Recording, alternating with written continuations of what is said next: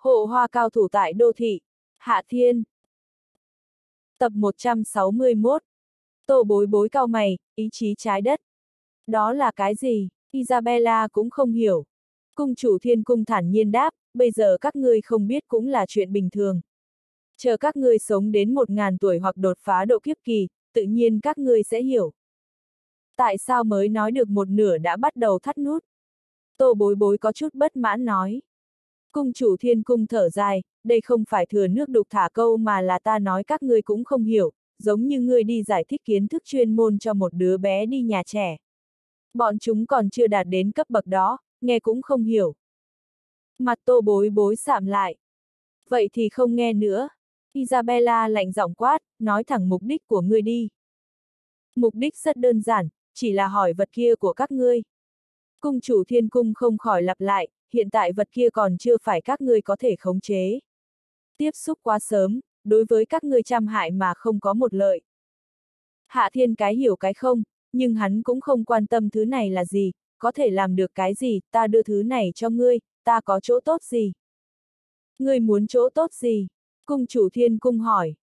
Trước kia thuộc hạ của ngươi đã nói qua, dung mạo của ngươi rất đẹp, ta muốn biết rốt cuộc là đẹp bao nhiêu. Hạ thiên nghiêm túc nói, lần trước ngươi cũng chỉ có giọng nói, lần này ta nhất định phải nhìn thấy mặt của ngươi. Tô bối bối liếc mắt, thất vọng cực độ đối với tên sắc lang này. Isabella lại nhìn không được mà mỉm cười. Dung mạo chỉ là túi da mà thôi. Biểu hiện của cung chủ thiên cung cũng không có thay đổi quá lớn, thản nhiên nói, đẹp cũng được, xấu cũng được, thật ra chẳng có chút ý nghĩa nào. Không, có ý nghĩa chứ. Hạ Thiên Thành thật nói, ta tuyệt đối không giao thứ này cho một người quái dị. Cung chủ thiên cung im lặng, nói với Hạ Thiên, người đã có vô số mỹ nhân xinh đẹp, cần chi chấp nhất dung mạo của một sinh vật không phải người sống mấy ngàn vạn năm chứ. Ta chẳng quan tâm ngươi là người hay là không, ta chỉ muốn biết ngươi có đẹp hay không mà thôi. Hạ Thiên nhếch miệng, khó chịu nói, nếu ngươi cảm thấy dung mạo không quan trọng, vậy thì ngươi dứt khoát để ta nhìn xem thế nào. Cung chủ thiên cung im lặng vài giây, sau đó nói, thôi được, cứ theo như ngươi mong muốn. Nói xong, trong thế giới dưới lòng đất bỗng nhiên sáng lên một tia sáng. Ánh sáng này khiến mọi người không mở mắt ra nổi. Tô bối bối và Isabella đều là tu tiên giả, nhưng cũng vô pháp thắng được ánh sáng, đành phải nhắm mắt lại. Rất nhanh, ánh sáng lùi bước, xung quanh khôi phục lại bình thường. Cung chủ thiên cung dường như đã rời đi. Chỉ để lại hạ thiên đứng im tại chỗ cười không ngừng, nước bọt như muốn chảy xuống. Này, tỉnh lại đi. Tô bối bối khó chịu, nhấc chân đá hạ thiên một cái, hồi hồn, người nhìn thấy cái gì mà giống như chư ca vậy. Isabella hơi ghen, giận mắng, chồng, chàng mau lau nước miếng đi. Hạ thiên sờ miệng, rất nhanh nghiêm túc nói, mỹ nữ nào mà ta chưa thấy qua, làm sao có thể chảy nước miếng.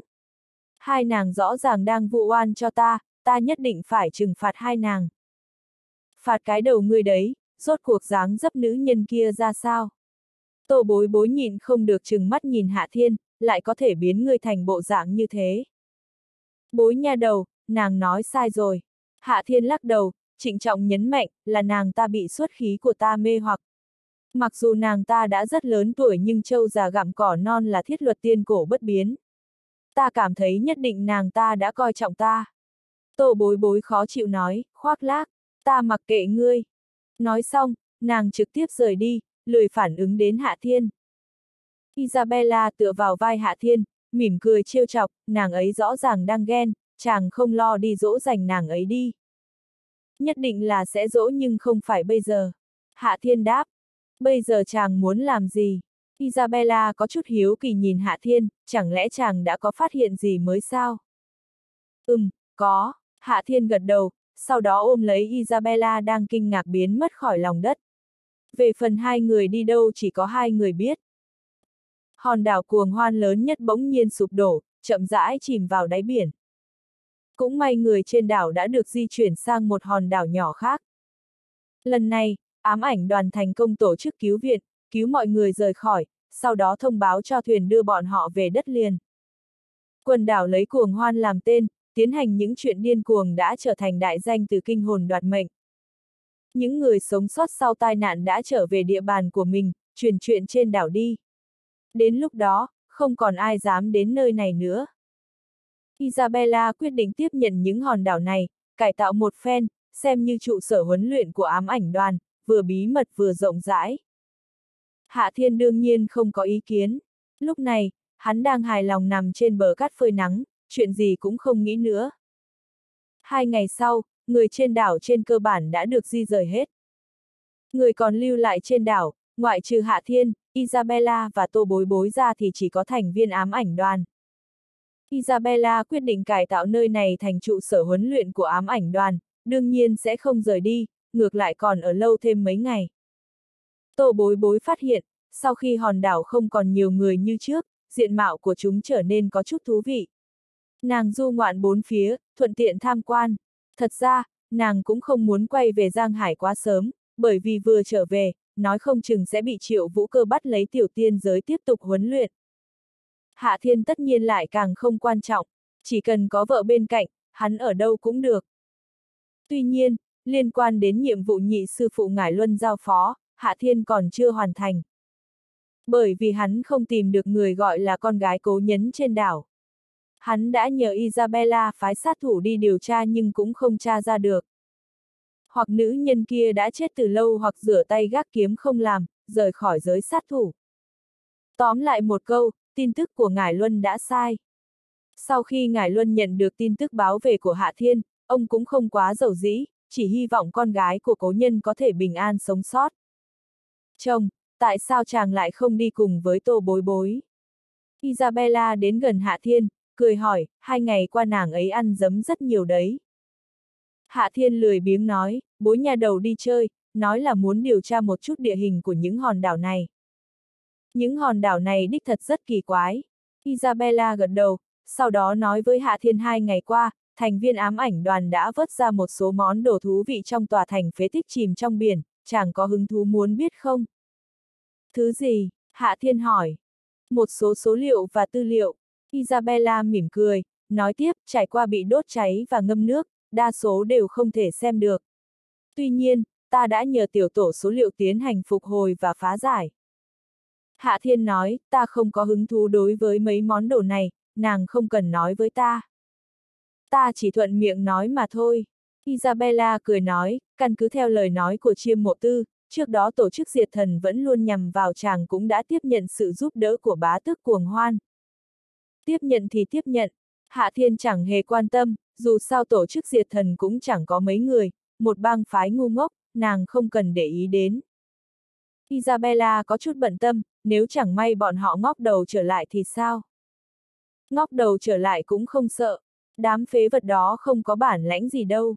Hạ Thiên hờ hững nói, nếu đã không có chiêu thức gì mới, đừng nói bối nha đầu, ngay cả Thạch Thuần đoán chừng cũng có thể tiêu diệt bọn họ. Điều này cũng đúng, tuy nhiên, chỉ cần nghĩ đến vẫn còn chuột sống trong khe cống ngầm, tâm trạng của ta vẫn rất khó chịu. Ta nhất định sẽ móc hết bọn chúng ra, sau đó tiêu diệt sạch sẽ. Isabella gật đầu, hiện tại, hầu hết nữ nhân của Hạ Thiên đều là tu tiên giả, hơn nữa người nhà của bọn họ đều có thành viên thiên đạo tổ và ám ảnh đoàn bảo vệ 24 phần 24, gần như trên cơ bản không có chuyện gì ngoài ý muốn xảy ra. Hạ Thiên gật đầu biểu đạt sự đồng ý của mình, sau đó cười nói, nàng có biết tên ngốc kia núp đâu không? Biết chứ, tên kia núp trong đám người bình thường, còn tưởng rằng ta không phát hiện ra nữa chứ. Isabella lạnh lùng nói, nhưng khí tức sát thủ trên người hắn ta hoàn toàn không che giấu được. Vậy nàng xử lý hắn ta chưa? Hạ Thiên hỏi. Isabella lắc đầu, cười nói, ta đã để lại ký hiệu. Đám chuột này quá phiền, tốt nhất nên chảm thảo trừ căn. Nếu không, thỉnh thoảng cứ chạy ra một hai con chẳng phải phiền phức vô cùng sao. Tuy nhiên, chuột trên thế giới nhiều lắm, đám ngu ngốc muốn chết cũng nhiều, giết cũng giết không hết. Hạ thiên ngược lại cũng không có phản ứng quá lớn, tuy nhiên, người vội vàng muốn chết như ngươi lại tương đối hiếm thấy. Này, chàng đang nói cái gì thế? Gương mặt Isabella hiện lên sự nghi ngờ. Hạ thiên lười biếng đáp, vừa rồi ngươi cũng đã nói, khí tức trên người sát thủ làm thế nào cũng không giấu được, vậy ngươi lấy ra đâu tự tin có thể lừa được ta? Chồng, chàng không sao chứ? Isabella cao mày, ta là vợ của chàng, Isabella, chàng không bị chúng ta chứ? Bốp, Hạ Thiên vung tay, trực tiếp quạt bay Isabella, muốn giết ta thì cứ trực tiếp ra tay, ta cho các ngươi cơ hội này. Các ngươi lại cứ nhất định phải giả mạo vợ của ta, lại còn tìm người xấu như thế để giả. Thật đáng ghét, huyễn thuật của ta rõ ràng hoàn mỹ vô khuyết, tại sao ngươi lại có thể nhìn ra được? Isabella lăn ra ngoài thật xa, khi đứng lên là một nữ nhân người châu Á, dáng dấp không tính là khó coi, nhưng nhất định là xấu hơn Isabella. Hạ Thiên ngáp một cái, có chút không hứng thú lắm, ngươi là con chuột ở đâu ra thế? Ta là huyễn ảnh thánh đồ trong thất thánh đồ. Nữ nhân chậm rãi đứng lên nói với Hạ Thiên, mục đích tìm ngươi chỉ có một, đó chính là lấy lại mảnh vỡ ý chí trái đất. Hiện tại vật kia hẳn nằm trong tay ngươi. Huyễn ảnh thánh đồ không phải là nam nhân sao? Cách đó không xa vang lên âm thanh kinh ngạc của tô bối bối, nhưng hình như hắn ta đã chết rồi mà. Khả năng thánh đồ không chỉ có một người.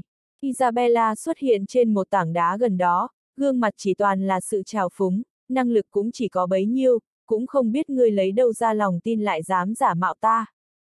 Nữ nhân kia đang bị bao vây, trong lòng có chút bối rối nhưng cũng không sợ hãi, vẫn lạnh giọng nói tốt, nếu các ngươi đã có mặt đông đủ, vậy thì ta nói thẳng, ta chỉ cần mảnh vỡ kia. Các ngươi giao ra, ta có thể tha cho các ngươi một con đường sống. Người bây giờ đều tự đại như vậy sao? Isabella mỉm cười, ngay cả bá tước cuồng hoan cũng còn chết, người cảm thấy người còn lợi hại hơn ông ta sao? Bá tước cuồng hoan chẳng qua chỉ là quái vật biến dị mà thôi. Nữ nhân kia vẫn không coi ai ra gì, đằng sau ta là một tổ chức khổng lồ, là con quái vật mà các ngươi không cách nào đối kháng. Tô bối bối nhếch miệng, là cái gọi là trường sinh thánh điện à. Hình như cũng không có gì đặc biệt. Isabella mỉm cười nói, chiêm mộ tư phụ trách thất thánh đồ các người đã quy hàng chúng ta rồi đấy. Tên phản đồ đó sớm muộn gì cũng bị đại thiên sứ trừng phạt. Nữ nhân kia hơi mất kiên nhẫn, ta không rảnh nói nhảm với các ngươi, rốt cuộc các người có giao ra hay không. Hạ thiên uể oải ngáp một cái, hơi trào phúng nói, đừng nói vật kia bây giờ không có trong tay ta, cho dù có, ta cũng không có khả năng giao cho các ngươi. Không nằm trong tay ngươi, vậy nằm trong tay người nào? Nữ nhân kia mở to mắt chỉ vào Hạ Thiên, người đã đưa nó cho ai, người mau nói ra. Cho ai, ta có cần phải nói cho người biết không? Hạ Thiên cười nói, người tưởng ngươi là ai chứ? Vợ sát thủ, vừa rồi nàng ta giả mạo nàng, bây giờ ta giao lại cho nàng giải quyết. Isabella gật đầu, đương nhiên rồi, vừa lúc chiêm mộ tư có nói một số tin tức còn chưa chứng thực được, người đã đưa đến cửa, vừa lúc ta lợi dụng ngươi một chút. Hừ, đúng là không biết tự lượng sức mình. Nữ nhân kia khinh thường quát một tiếng, biến thành một đạo tàn ảnh, trong nháy mắt đã đến bên cạnh Isabella. Chỉ cái này thôi sao? Ánh mắt Isabella có vẻ không được hứng thú cho lắm. Nữ nhân kia phát ra tiếng cười khinh miệt, lập tức biến mất, ngay cả tàn ảnh cũng không có. Bốn phía chỉ còn lại sóng biển cuồn cuộn, còn có Hạ Thiên đứng im tại chỗ chưa từng động đậy, Tô Bối Bối và Isabella. Ngươi để nàng ta chạy trốn sao? Tô Bối Bối nghi hoặc hỏi. Isabella mỉm cười, hơi khinh bỉ nói, nếu ta bị loại huyễn thuật cấp thấp này lừa gạt, kiếp sống sát thủ của ta chẳng phải uống phí rồi sao? Nói xong, Isabella nhẹ nhàng nhấc bàn tay trái, mấy luồng hàn mang lóe lên giữa không trung rồi biến mất. Phốc! Mấy luồng tơ máu bắn tung tóe, thân hình nữ nhân châu Á kia xuất hiện. Nàng ta ngã xuống đất, cơ thể bị mấy sợi dây câu buộc chặt. Chỉ cần nàng ta có chút động đậy, làn da sẽ bị cắt đứt, dây câu khảm vào da thịt, không ngừng chảy máu. Người quá yếu rồi, tô bối bối lắc đầu, tại sao thất thành đồ lại phái một số người bản lãnh không có, đầu óc cũng không ra ngoài làm việc thế. Hạ Thiên cười nói, một tổ chức ngu ngốc, đương nhiên cũng chỉ có thành viên ngu ngốc. Được rồi, Tô bối bối đột nhiên cảm giác không còn thú vị nữa, về sau, nếu đối thủ của ngươi chỉ toàn là loại ngớ ngẩn không có trình độ này, như vậy sẽ không còn thú vị gì cả. Đúng là quá chán, Hạ Thiên cũng cảm thấy có chút nhàm chán, bối nhà đầu, nếu không, chúng ta đi làm chuyện có ý nghĩa đi. Đi cái đầu ngươi đấy, lại nghĩ đến chuyện chiếm tiện nghi của ta phải không?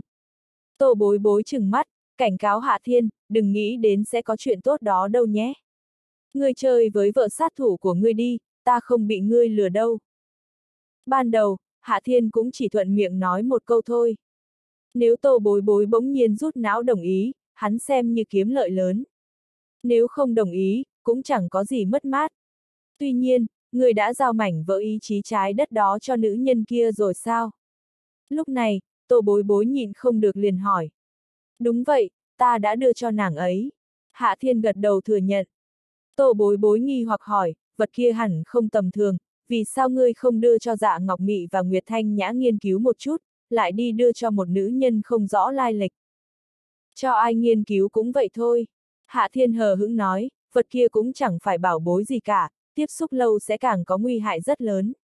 Ta không muốn để thần tiên tỷ tỷ và muội muội chân dài tiếp xúc đâu. Hai nàng lại càng không. Nếu nữ nhân kia muốn, vậy thì đưa cho nàng ta, chúng ta cũng chẳng có tổn thất gì.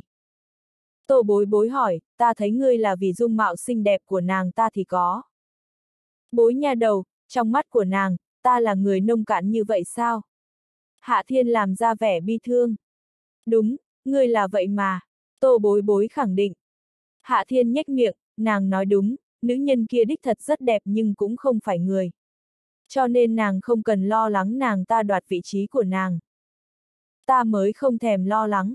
Tô bối bối vô thức phản bác một câu, tiếp theo lại cảm thấy không thích hợp, cái gì gọi là cướp vị trí của ta. ngươi nói cướp vị trí của ta là có ý gì? Hạ thiên nghiêm túc nói, đương nhiên là cướp danh ngạch vợ còn dư lại của ta. Nàng yên tâm đi, nàng luôn xếp trước, ai cũng không đoạt được. Dù sao chúng ta cũng có giao tình nhiều năm mà. Ngươi, ngươi cút sang một bên cho ta. Tô bối bối xấu hổ không thôi, nhấc đôi chân dài đạp về phía hạ thiên. a, à, vừa lúc, hai ngày nay bối nhà đầu nàng nhất định có chút mệt mỏi, ta sẽ thay nàng xoa bóp một cái. Hạ thiên tiện tay chộp tới, nắm cặp đùi đẹp của tô bối bối trong tay, tay nghề xoa bóp của ta là đệ nhất thiên hạ. Nàng có thể hỏi muội muội chân dài đấy, nàng ấy rất thích ta xoa bóp. Có quỷ mới tin ngươi. Mặc dù tô bối bối chừng mắt nhìn hạ thiên, nhưng cũng không rút chân trở về, chỉ cảnh cáo, xoa bóp thì thôi đi. Ta không cho phép chiếm tiện nghi, có nghe hay không? Hạ thiên thề son thề sắt, nàng yên tâm đi, ta không phải loại người như vậy đâu. Mặc dù vẫn ôm thái độ hoài nghi, nhưng tô bối bối vẫn nằm xuống, thả lỏng tinh thần, mặc cho hắn xoa bóp. Không thể không nói, thủ pháp của Hạ Thiên đúng là thiên hạ vô song, cộng thêm băng hỏa linh khí không chê vào đâu được thẩm thấu và di chuyển bên trong cơ thể, bên ngoài da thịt, quả nhiên là sự hưởng thụ đệ nhất thiên hạ. Hạ Thiên quả thật cũng chỉ tập trung xoa bóp, cũng không có suy nghĩ xấu xa gì. Không bao lâu sau, Isabella quay lại, có chút khen ghét, hai người các ngươi đúng là biết hưởng thụ đấy. Vợ sát thủ, nàng đừng vội, chờ đến tối, ta sẽ xoa bóp cho nàng thật tốt. Hạ Thiên nháy mắt với Isabella, lộ ra vẻ mong đợi. Audio điện tử võ tấn bền. Isabella nhìn không được liền xì một câu, chàng xoa bóp không bao giờ đứng đắn.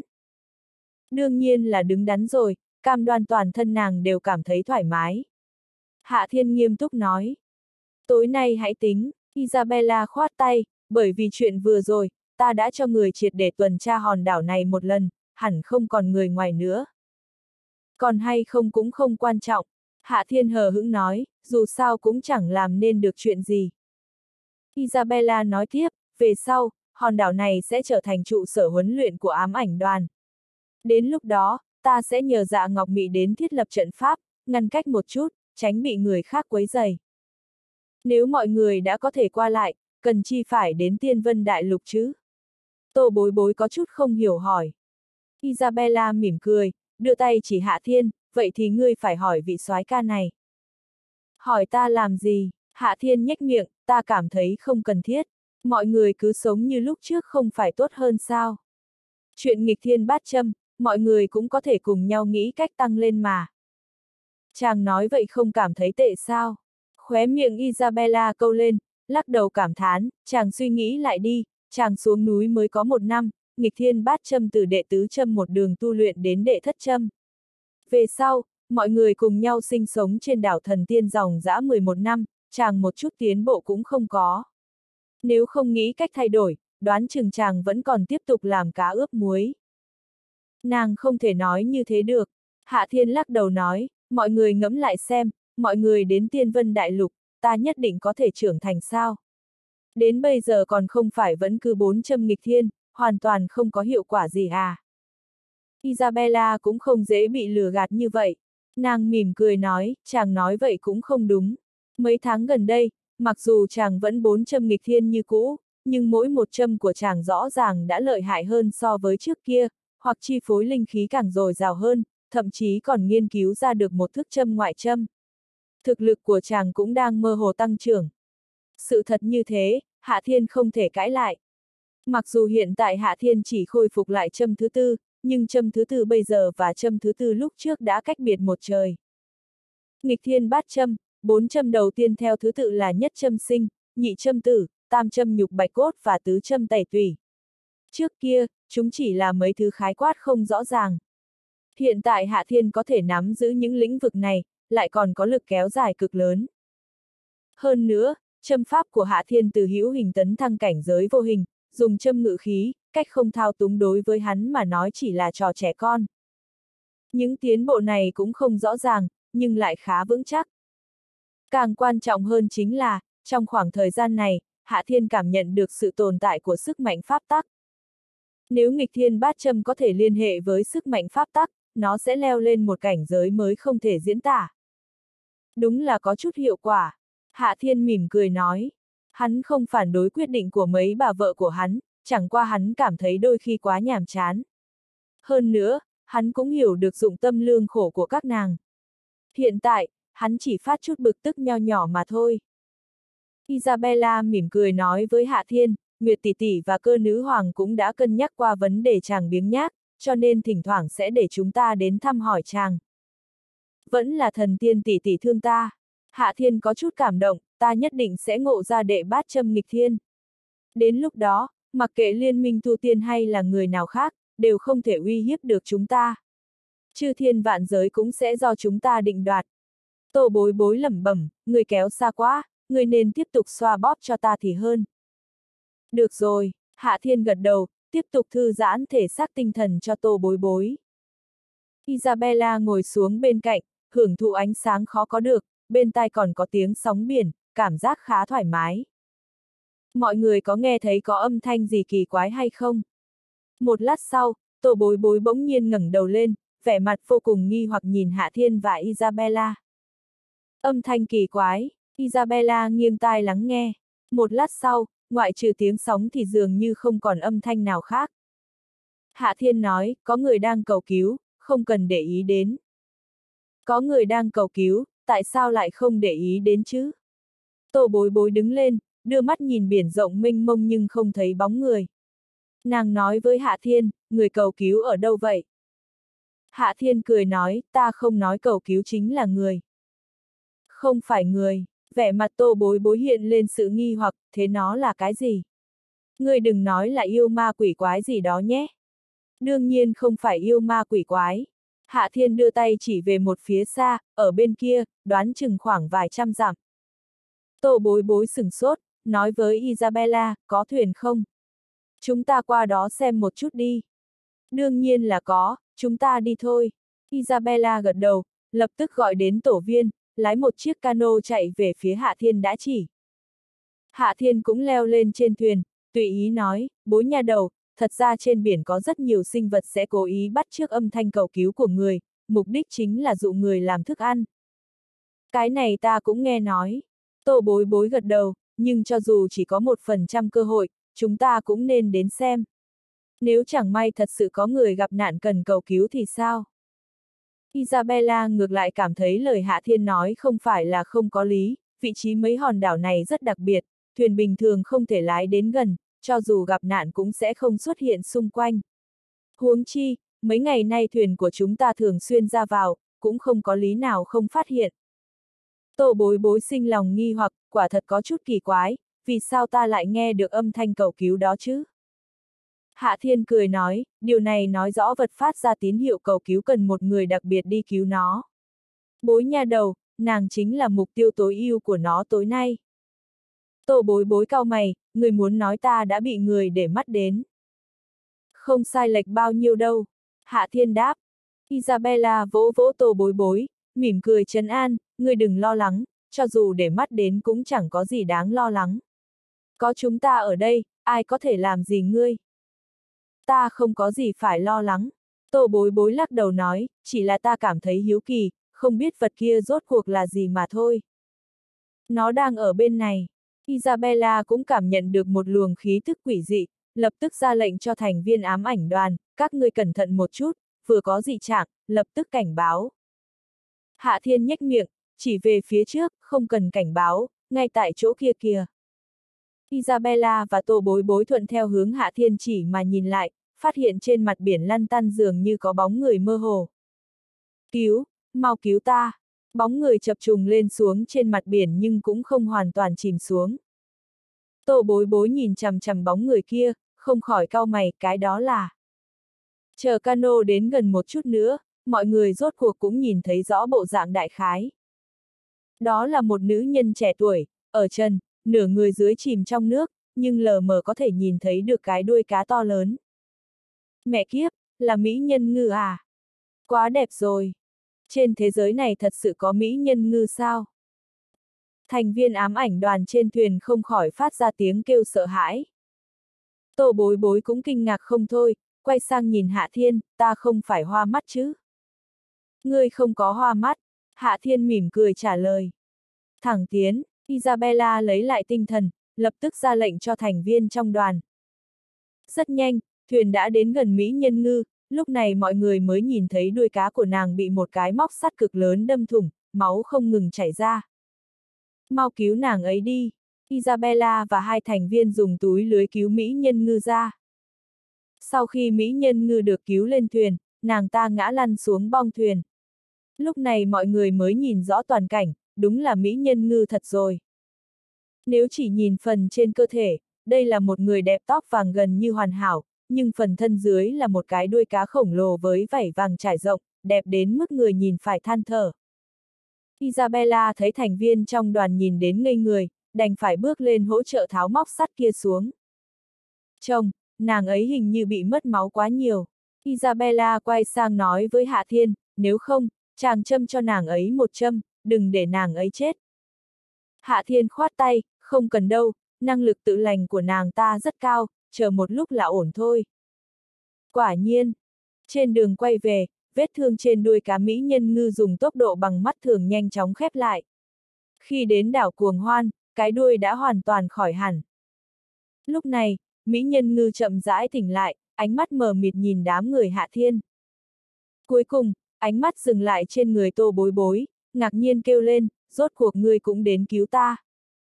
Tô bối bối giống như phát mộng, chúng ta quen biết sao. Bối nha đầu, nàng đừng vội đáp lại. Hạ thiên vỗ đầu tô bối bối, sau đó châm một châm khiến Mỹ nhân ngư bị hôn mê bất tỉnh. Hắn cười nói, đây chỉ là phản ứng cầu sinh ngẫu nhiên, cũng không phải nàng ta thật sự quen biết nàng. Nàng ấy thật sự là Mỹ nhân ngư sao? Tô bối bối nhìn sinh vật thân người đuôi cá mới cứu, có chút khó mà tiếp nhận. Dĩ nhiên không phải rồi.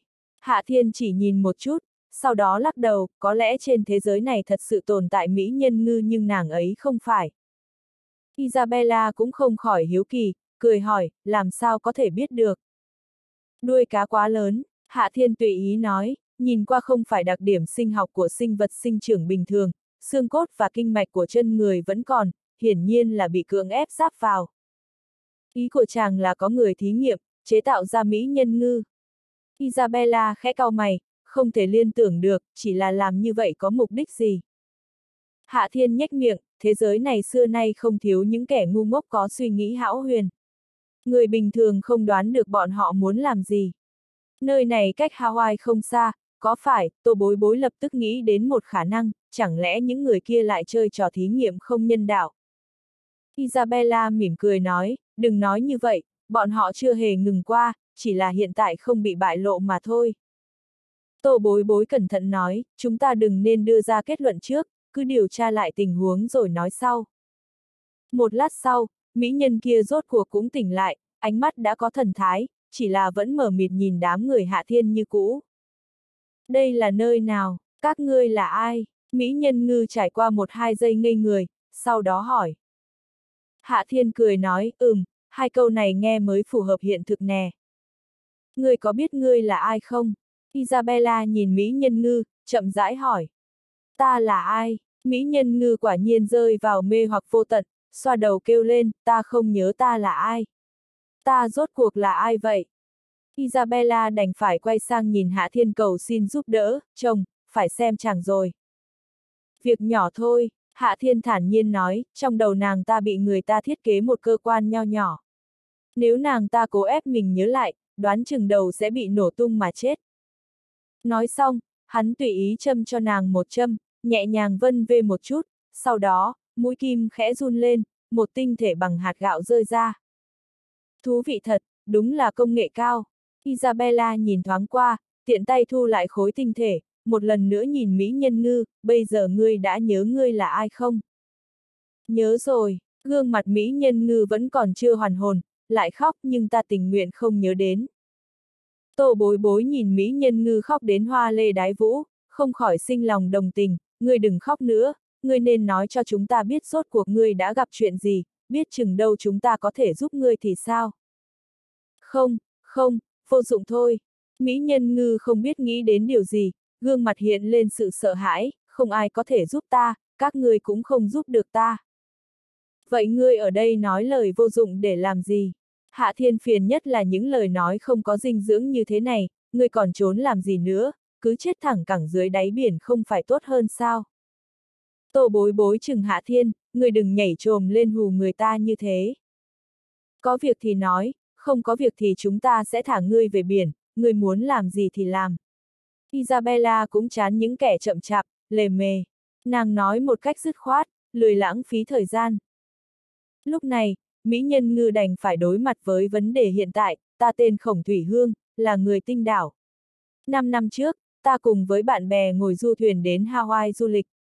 Khi chúng ta gần đến nơi, mấy người bạn nói muốn liên hoan ăn mừng một chút. Ta cũng không suy nghĩ nhiều, liền tham gia ngay. Kết quả sau khi uống xong hát xong, ta liền bất tỉnh nhân sự. Khi tỉnh lại, ta phát hiện mình bị nhốt trong một cái bình. Ở đó có rất nhiều bình, bên trong mỗi bình đều có người. Sau đó thì sao? Tô bối bối chỉ cái đuôi của nàng, hỏi tiếp tại sao ngươi lại biến thành bộ dạng như thế này? Khổng Thủy Hương ôm mặt, còn chưa tỉnh hồn, nơi đó hẳn là một phòng thí nghiệm. Hàng ngày đều có người vào tiêm cho chúng ta đủ các loại thuốc, trong thời gian đó có rất nhiều người bị hành hạ đến chết. Ta cũng không biết mình đã bị tiêm bao nhiêu loại thuốc nữa. Một năm trước, cơ thể của ta bắt đầu mọc ra vảy cá, hai chân cũng không ngừng thoái hóa, cuối cùng biến thành cái dạng này. Phòng thí nghiệm kia ở đâu? Tô bối bối thật sự không cam lòng. Từ trước đến nay, nàng ghét nhất chính là những tổ chức mất hết nhân tính như thế này. Khổng Thủy Hương chỉ vào sóng biển cuồn cuộn, dưới đáy biển. Nàng sợ hãi nói tiếp, bọn họ nhất định sẽ phái người đến bắt ta, đoán chừng rất nhanh sẽ tìm được ta ở đây. Mọi người nên trốn trước đi, ta sợ liên lụy đến mọi người. Chuyện này thì ngươi đi yên tâm, ngươi không liên lụy được chúng ta đâu. Tô bối bối khoát tay, chỉ vào Hạ Thiên, nói, hắn còn đang ngại mình bị nhàm chán kìa. Ngươi đang tìm việc vui cho hắn đấy, còn có thể giết thời gian. Hạ Thiên bất mãn nói, bối nhà đầu, nàng muốn quản thì nói thẳng, giao cho ta làm gì. Nếu ta muốn giết thời gian, ta có thể tìm vợ sát thủ, bao nhiêu thời gian cũng không đủ. Ngươi có thể đừng lúc nào cũng nghĩ đến chuyện đó hay không? Tô bối bối hơi đỏ mặt, trừng mắt với Hạ Thiên, ta biết ngươi là thần y, biết cơ thể của ngươi lợi hại, nhưng đừng suốt ngày nghĩ đến chuyện đó thì tốt hơn. Không có suốt ngày, Hạ Thiên nghiêm túc đính chính, mỗi lần đều liên tiếp vài ngày. Tô bối bối im lặng. Được rồi, ngay cả chuyện này cũng có thể ẩm ý, các ngươi đúng là oan gia mà. Isabella cảm thấy hai người này chẳng khác nào trẻ con, mỉm cười nói, nếu nàng ấy nói không phải giả, nhất định sẽ có địch nhân lên bờ, tốt xấu gì mọi người cũng phải khẩn trương lên. Nàng còn chưa dứt lời, hải triều đột nhiên tăng vọt, tiếp theo, mấy bóng người từ trong hải triều chui ra, tay cầm vũ khí rất lạ, chậm rãi bước lên bờ. Người dẫn đầu, thân cao ít nhất 2 mét, toàn thân đều có vảy đen, trong tay cầm xiên thép sách ngược dài 3 mét, ngược lại có chút huy phong. Các ngươi là người của bá tước cuồng hoan à. Nam nhân tay cầm xiên thép nói bằng tiếng Anh, giọng theo phong cách Anh chuẩn, ta là tuần hải dạ xoa bây giờ, mỹ nhân ngư kia là thị nữ long cung chúng ta, các ngươi hãy trả lại cho chúng ta. Long cung, tô bối bối nhịn không được cười nhạo, một nơi bắt người làm thí nghiệm lại gọi là Long cung, còn có tuần hải dạ xoa. Các ngươi không phải muốn chơi cosplay trong biển chứ? Nam nhân vậy đen dường như không đủ kiên nhẫn, trực tiếp ra lệnh, Long cung chúng ta và đảo cuồng hoan các ngươi đã sớm ký hiệp nghị không can thiệp vào chuyện của đối phương.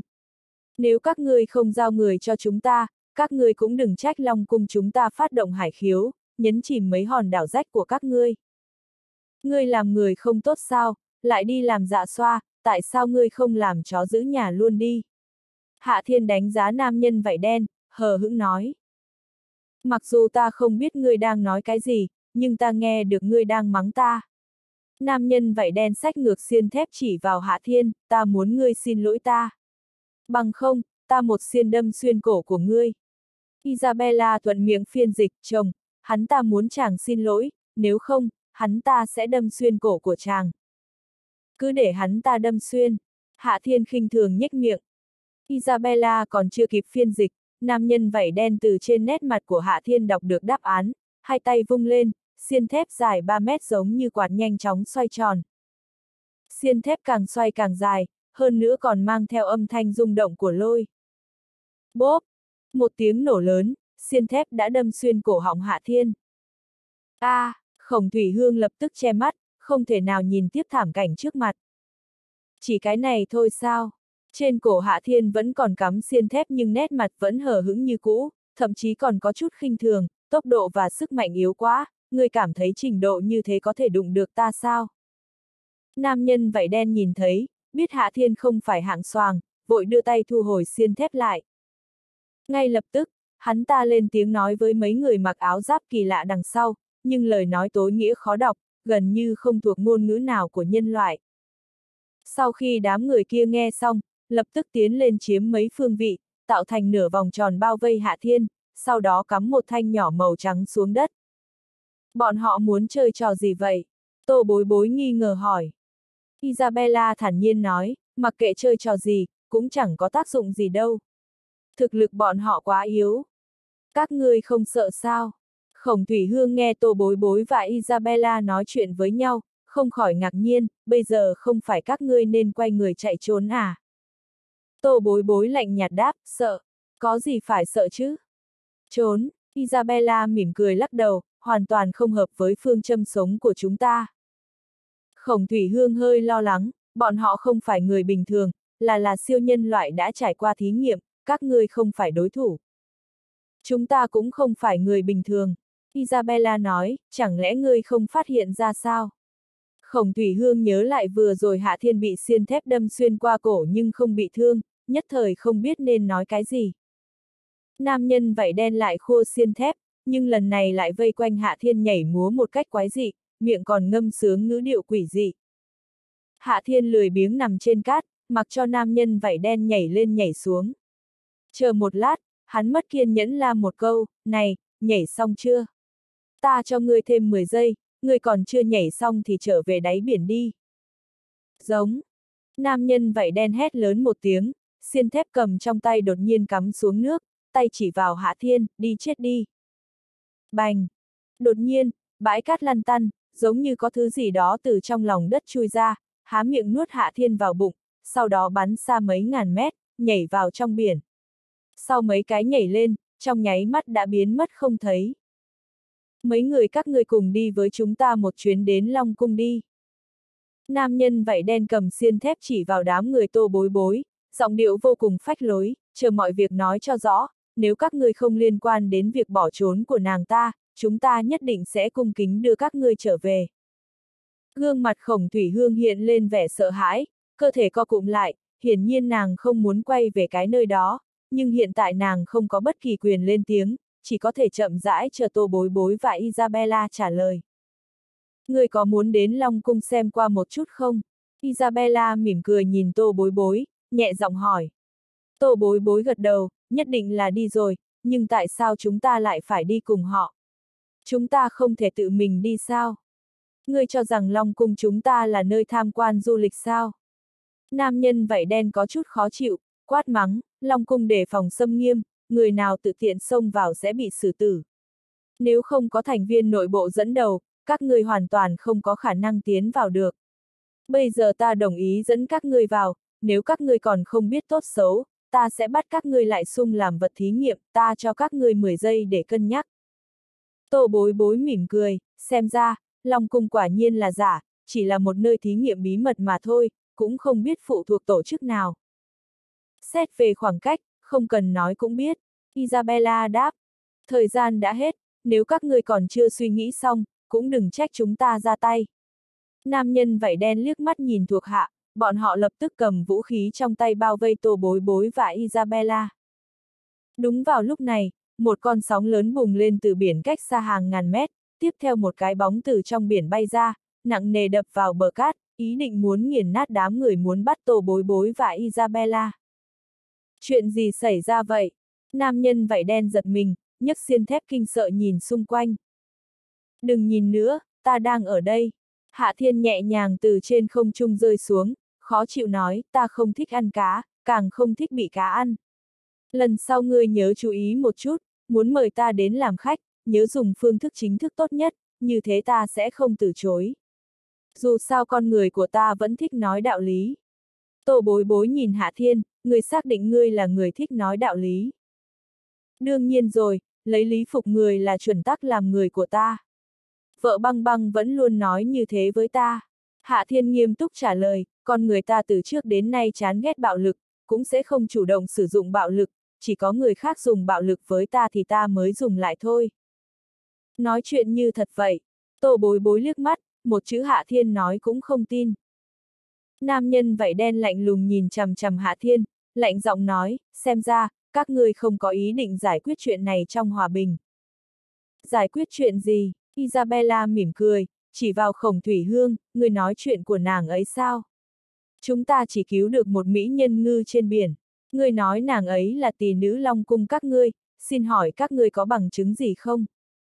Trên người nàng ấy có tiêu ký long cung chúng ta, đằng sau mông. Nam nhân vậy đen lạnh lùng đáp, đó là tiêu ký độc nhất vô nhị, không ai hay tổ chức nào có thể bắt trước mạo danh được. Tô bối bối dùng ánh mắt xin lỗi nhìn khổng thủy hương, sau đó lật xem một lượt vị trí sau mông của nàng, quả nhiên có một tiêu ký rất lạ, thoạt nhìn giống như hai xiên thép giao cùng một chỗ. Tiêu ký này hẳn dùng một loại vật liệu đặc biệt làm thành, tùy thời biến ảo ngay tại chỗ, lại hoàn mỹ dung nhập vào vảy, giống như được sinh ra từ tự nhiên.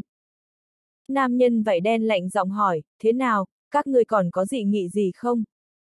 Đương nhiên là có, Isabella khoanh tay mỉm cười, nhìn nam nhân vảy đen giống như nhìn thằng ngốc, cho đến bây giờ, ta chưa từng nghe nói Long Cung sẽ đánh tiêu ký lên người tỷ nữ của mình, ngược lại chỉ có phòng thí nghiệm mới đánh tiêu ký lên vật thí nghiệm của mình mà thôi. Ngươi nên trung thực thừa nhận đi, các ngươi là tổ chức nào, đang làm thí nghiệm gì trên con người vậy? Ta không biết các ngươi đang nói cái gì. Nam nhân vảy đen biến sắc, múa xiên thép trong tay, bốc lên màn nước cuồn cuộn, nếu các ngươi đã không phối hợp như vậy, vậy cũng đừng trách ta hồi báo chi tiết về Long Cung, các ngươi chờ Long Cung chế tài đi. Tiếp theo, màn nước không còn, nam nhân vảy đen biến mất không thấy đâu. Người đi rồi sao? Tô bối bối không khỏi hỏi. Hạ thiên gật đầu, đi. Người cứ như vậy mà để hắn ta đi sao? Tô bối bối ngạc nhiên hỏi. Chứ chẳng lẽ giữ hắn ta lại ăn cơm tối? Hạ thiên kỳ quái hỏi. Tô bối bối ngẩn ra hai ba giây, sau đó nói, chẳng lẽ ngươi không nên giữ hắn ta lại, sau đó hỏi cặn kẽ chuyện của Long Cung sao? Có cái gì mà hỏi chứ? Hạ Thiên lười biếng ngáp một cái, không hứng thú nói, Long Cung nhất định sẽ phái người đến, đến lúc đó bắt lại cũng không muộn. Con cá đen kia cũng chỉ là tiểu lâu la mà thôi, biết cũng không nhiều, bắt cũng vô dụng. Nghe xong, tô bối bối hoàn toàn hiểu ra được. Tuy nhiên, Long Cung gì đó nhất định có vấn đề. Isabella cao mày, hơn nữa, nó gần đảo cuồng hoan như thế, nói không chừng giữa hai bên có liên hệ. Tô bối bối gật đầu, đúng vậy, vừa rồi bọn họ cũng đã nói, bá tước cuồng hoan dường như đã ký qua thỏa thuận gì đó. Ừm, để ta phái người đi tìm một chút, xem có tư liệu nào liên quan đến Long Cung hay không. Isabella suy nghĩ một chút, sau đó đưa ra quyết định. Lúc này, Mỹ nhân ngư khổng thủy hương có chút do dự nói, các ngươi không có ý định chạy trốn sao? Chạy trốn, vì sao lại phải chạy trốn? Tô bối bối nghi ngờ hỏi. Long cung đó không dễ trêu đâu. Trong lòng khổng thủy hương vẫn còn sợ hãi, bọn họ có tàu ngầm, hơn nữa còn có rất nhiều vũ khí đáng sợ. Hiện tại mọi người trốn đi vẫn còn kịp, nếu còn chậm trễ, chúng ta cũng chỉ có một con đường chết. Tô bối bối cảm thấy buồn cười, người nói bọn họ có tàu ngầm, vậy ngươi có cảm thấy chúng ta nên dùng phương tiện giao thông gì để chạy trốn? Trên đảo không có máy bay sao? Khổng Thủy Hương hỏi. Isabella thản nhiên đáp, cho dù có cũng không có tác dụng gì. Theo lời nói của ngươi, Long Cung nhất định có rất nhiều vũ khí tiên tiến, đoán chừng máy bay bên này của chúng ta vừa cất cánh đã bị đánh rơi. Cũng đúng, Khổng Thủy Hương cúi thấp đầu xuống, lâm vào bi thương, xem ra ta khó thoát khỏi cái chết. Sớm biết như vậy, ta đã không trốn, lại còn liên lụy các ngươi. Ngươi nói nghe vẫn còn chút lương tâm đấy. Tô bối bối mỉm cười, vỗ vai khổng thủy hương, tuy nhiên, gặp phải chúng ta đó chính là phúc khí lớn nhất đời này của ngươi, bởi vì ngươi đã an toàn, hơn nữa cũng sẽ khôi phục lại bình thường. Ngươi muốn về nhà càng là việc nhỏ. Khổng thủy hương cũng không vui hơn, chỉ cười khổ các ngươi hiểu quá ít về Long Cung. Bọn họ cũng không dễ đối phó như vậy đâu. Nếu không, các ngươi đưa chúng ta trở về đi. Không thể nào, Isabella lắc đầu, nếu không biết thì thôi, đã biết, chúng ta nhất định phải loại bỏ tổ chức vô nhân đạo này. Không chỉ vì cứu ngươi cũng là vì an toàn của chính chúng ta. Tô bối bối biết Isabella nói vậy là có ý gì. Ám ảnh đoàn sẽ sử dụng nơi này làm trụ sở huấn luyện. Nếu gần đây tồn tại một tổ chức khủng bố như thế, vậy thì không quá an toàn. Đương nhiên phải diệt trừ hoàn toàn. Giống. Lúc này, trong biển bỗng nhiên truyền đến tiếng giống ầm ầm, giống như có cự thú ngủ mê từ ngàn xưa bị đánh thức. Tiếp theo, từng con sóng dâng lên, giống như hải khiếu phóng đến đảo cuồng hoan. Trước mặt sóng biển, những hòn đảo giống như cát sỏi trong mưa bão, thật sự không có ý nghĩa. Bên trong sóng biển cuồn cuộn, một thân ảnh vô cùng bàng cự khiến người ta sinh lòng sợ hãi xuất hiện. Bọn họ có long cung, xem ra là có long vương thật rồi. Tô bối bối vô thức cảm thán một câu. Isabella không khỏi thở dài, có vẻ như tổ chức này thực sự đang nghiên cứu một thứ gì đó khó tin chứ không chỉ đơn giản là làm thí nghiệm trên người. Hạ Thiên nhìn thấy, không khỏi hưng phấn hẳn lên, cười nói, thú vị đây, để ta thử một chút xem người có bản lãnh bao lớn. Nói xong, hắn lấy ra định hải thần châm đâm tới cự lãng thao thiên. Một bức tường vô hình sinh ra, ngăn lại con sóng lớn. Hoặc có thể nói, định hải thần châm chính là khắc tinh của biển. Một châm đâm xuống, sóng lớn che khuất bầu trời cũng khó tiến nửa phần. Giống. Thân ảnh đằng sau con sóng lớn dường như bị chọc giận, lập tức phát ra tiếng giống đinh tai nhức óc. Sóng biển một lần nữa sôi trào, từng tầng sóng biển cuồn cuộn cuốn lên, như muốn xé rách những hòn đảo nhỏ. Hai, còn lâu mới đủ. Hạ hạ lắc đầu tỏ vẻ thất vọng, dù sóng có cao đến đâu cũng không thể phá được định hải thần châm của ta, chỉ bằng ngươi thành thật một chút, hiện thân đánh với ta một trận đi. Đảo cuồng hoan gần như bị nước biển bao vây, nhưng cũng không bị đánh nát. Bức tường định hải thần châm đã tạo thành một cái vòng tròn, bao vây toàn bộ hòn đảo bên trong, vững như thái sơn. Tô bối bối có cảm giác giống như đang ở trong viện Hải Dương, mang theo tâm trạng mới lạ nhìn dị động cuồn cuộn bên ngoài. Bành! Thân ảnh to lớn bên trong sóng biển lại một lần nữa bị chọc giận, đưa tay đập mạnh vào bức tường phòng hộ của định hải thần châm. Người muốn dùng quyền đúng không? Hạ thiên nhếch miệng, thân hình lóe lên, cả người biến mất khỏi chỗ cũ. Một giây sau, hắn đã chạy đến trước mặt thân ảnh to lớn, một quyền đánh tới. Một quyền này không nhanh không chậm, nhưng sức mạnh lại dùng đến 7-8 phần. Một quyền đấm ra, thậm chí còn xuất hiện một hai giây thời không ngừng lại. Oanh! Tiếp theo, thân ảnh to lớn bên trong sóng biển bỗng nhiên bay rớt ra ngoài. Sóng biển cuồn cuộn cũng tán loạn, rất nhanh khôi phục lại bình thường, giống như vừa nãy có một trận mưa to, bây giờ đã sóng êm biển lặng. Một chút cũng không còn cảnh tượng tận thế giáng xuống như lúc trước. Rốt cuộc là cái gì vậy? Tô bối bối đưa mắt nhìn nơi xa, từ đầu đến cuối vẫn không nhìn rõ dáng vẻ to lớn kia. Isabella cũng cau mày, vô thức nói, chẳng lẽ là Godzilla? Không thể nào, tô bối bối nói, Godzilla không phải lo đi kiếm tiền sao, nào có thời gian đến đây chơi với chúng ta. Hay là quái thú của Đai Dương? Isabella cười nói, trong phim hay có mấy cảnh quái thú từ đáy biển xâm lấn trái đất đấy. Tô bối bối im lặng. Isabella đương nhiên chỉ thuận miệng trêu chọc mà thôi. Tuy nhiên, tô bối bối cũng không nghĩ là thật, chỉ là không nghĩ đến đối phương lại có mặt nghịch ngợm như thế. Chồng nhìn có vẻ chơi rất vui. Isabella nhìn Hạ Thiên đang đuổi theo thân ảnh to lớn trong biển, không khỏi nói với tô bối bối, nếu không, chúng ta cũng xuống đáy biển chơi đi. Tô bối bối hơi nghi hoặc hỏi, làm sao mà đi? Chẳng lẽ chúng ta trực tiếp lặn xuống biển luôn sao? Đương nhiên rồi, Isabella mỉm cười nháy mắt, lên tiếng nhắc nhở, người còn chưa chuyển đổi tâm thái sao? Người đã sớm là tu tiên giả, tu vi không thấp. Tuy nói vận dụng pháp thuật thần thông vẫn còn một chút khoảng cách, nhưng người vẫn nắm giữ được công pháp cơ sở mà. Ví dụ như, tô bối bối lập tức hỏi. Isabella cười nói, ví dụ như tị thủy quyết. Cái này ta biết, tô bối bối im lặng 2-3 giây, sau đó ngẩng đầu nhìn Isabella, khi còn ở tiểu tiên giới, triệu tỷ tỷ đã từng dạy qua cho ta, chỉ là ta vẫn chưa có cơ hội vận dụng mà thôi. Bây giờ thời cơ đã đến rồi đấy. Isabella mỉm cười, nhướng mày nói, chúng ta đi thôi, xem bên dưới đáy biển rốt cuộc đang che giấu chuyện gì. Tô bối bối nghiêng người chỉ vào khổng thủy hương, chúng ta đi rồi, nàng ấy làm sao bây giờ? Đúng, đang hỏi ngươi đấy. Isabella chuyển sang nhìn khổng thủy hương vẫn còn chưa tỉnh hồn, ngươi đi cùng chúng ta xuống đáy biển hay là ở trên đảo? Đương nhiên, nếu ngươi muốn chạy trốn, ta sẽ sắp xếp thuyền cho ngươi. Khổng thủy hương do dự một hồi lâu mới lên tiếng, ta đi cùng với các ngươi. Ở đó có người ta nhất định phải cứu, hơn nữa ta quen thuộc tình huống ở đó, vừa lúc có thể dẫn đường cho mọi người. Tốt, nhìn không ra ngươi cũng là người có dũng khí. Isabella không khỏi tán thưởng một câu, muốn thoát khỏi sợ hãi, biện pháp tốt nhất chính là trực diện sự sợ hãi. Nhưng chúng ta cứ như vậy mà đi sao? Khắp gương mặt khổng thủy hương chỉ toàn là sự do dự, chúng ta không mang theo vũ khí hay thiết bị gì à? Đám người kia là loại người cùng hung cực ác, hơn nữa. Không sao đâu, Isabella mỉm cười còn dạng dỡ hơn, ngươi cho rằng chúng ta là người tốt sao? Lúc này, Tô bối bối bổ sung một câu, chúng ta cũng không phải người bình thường.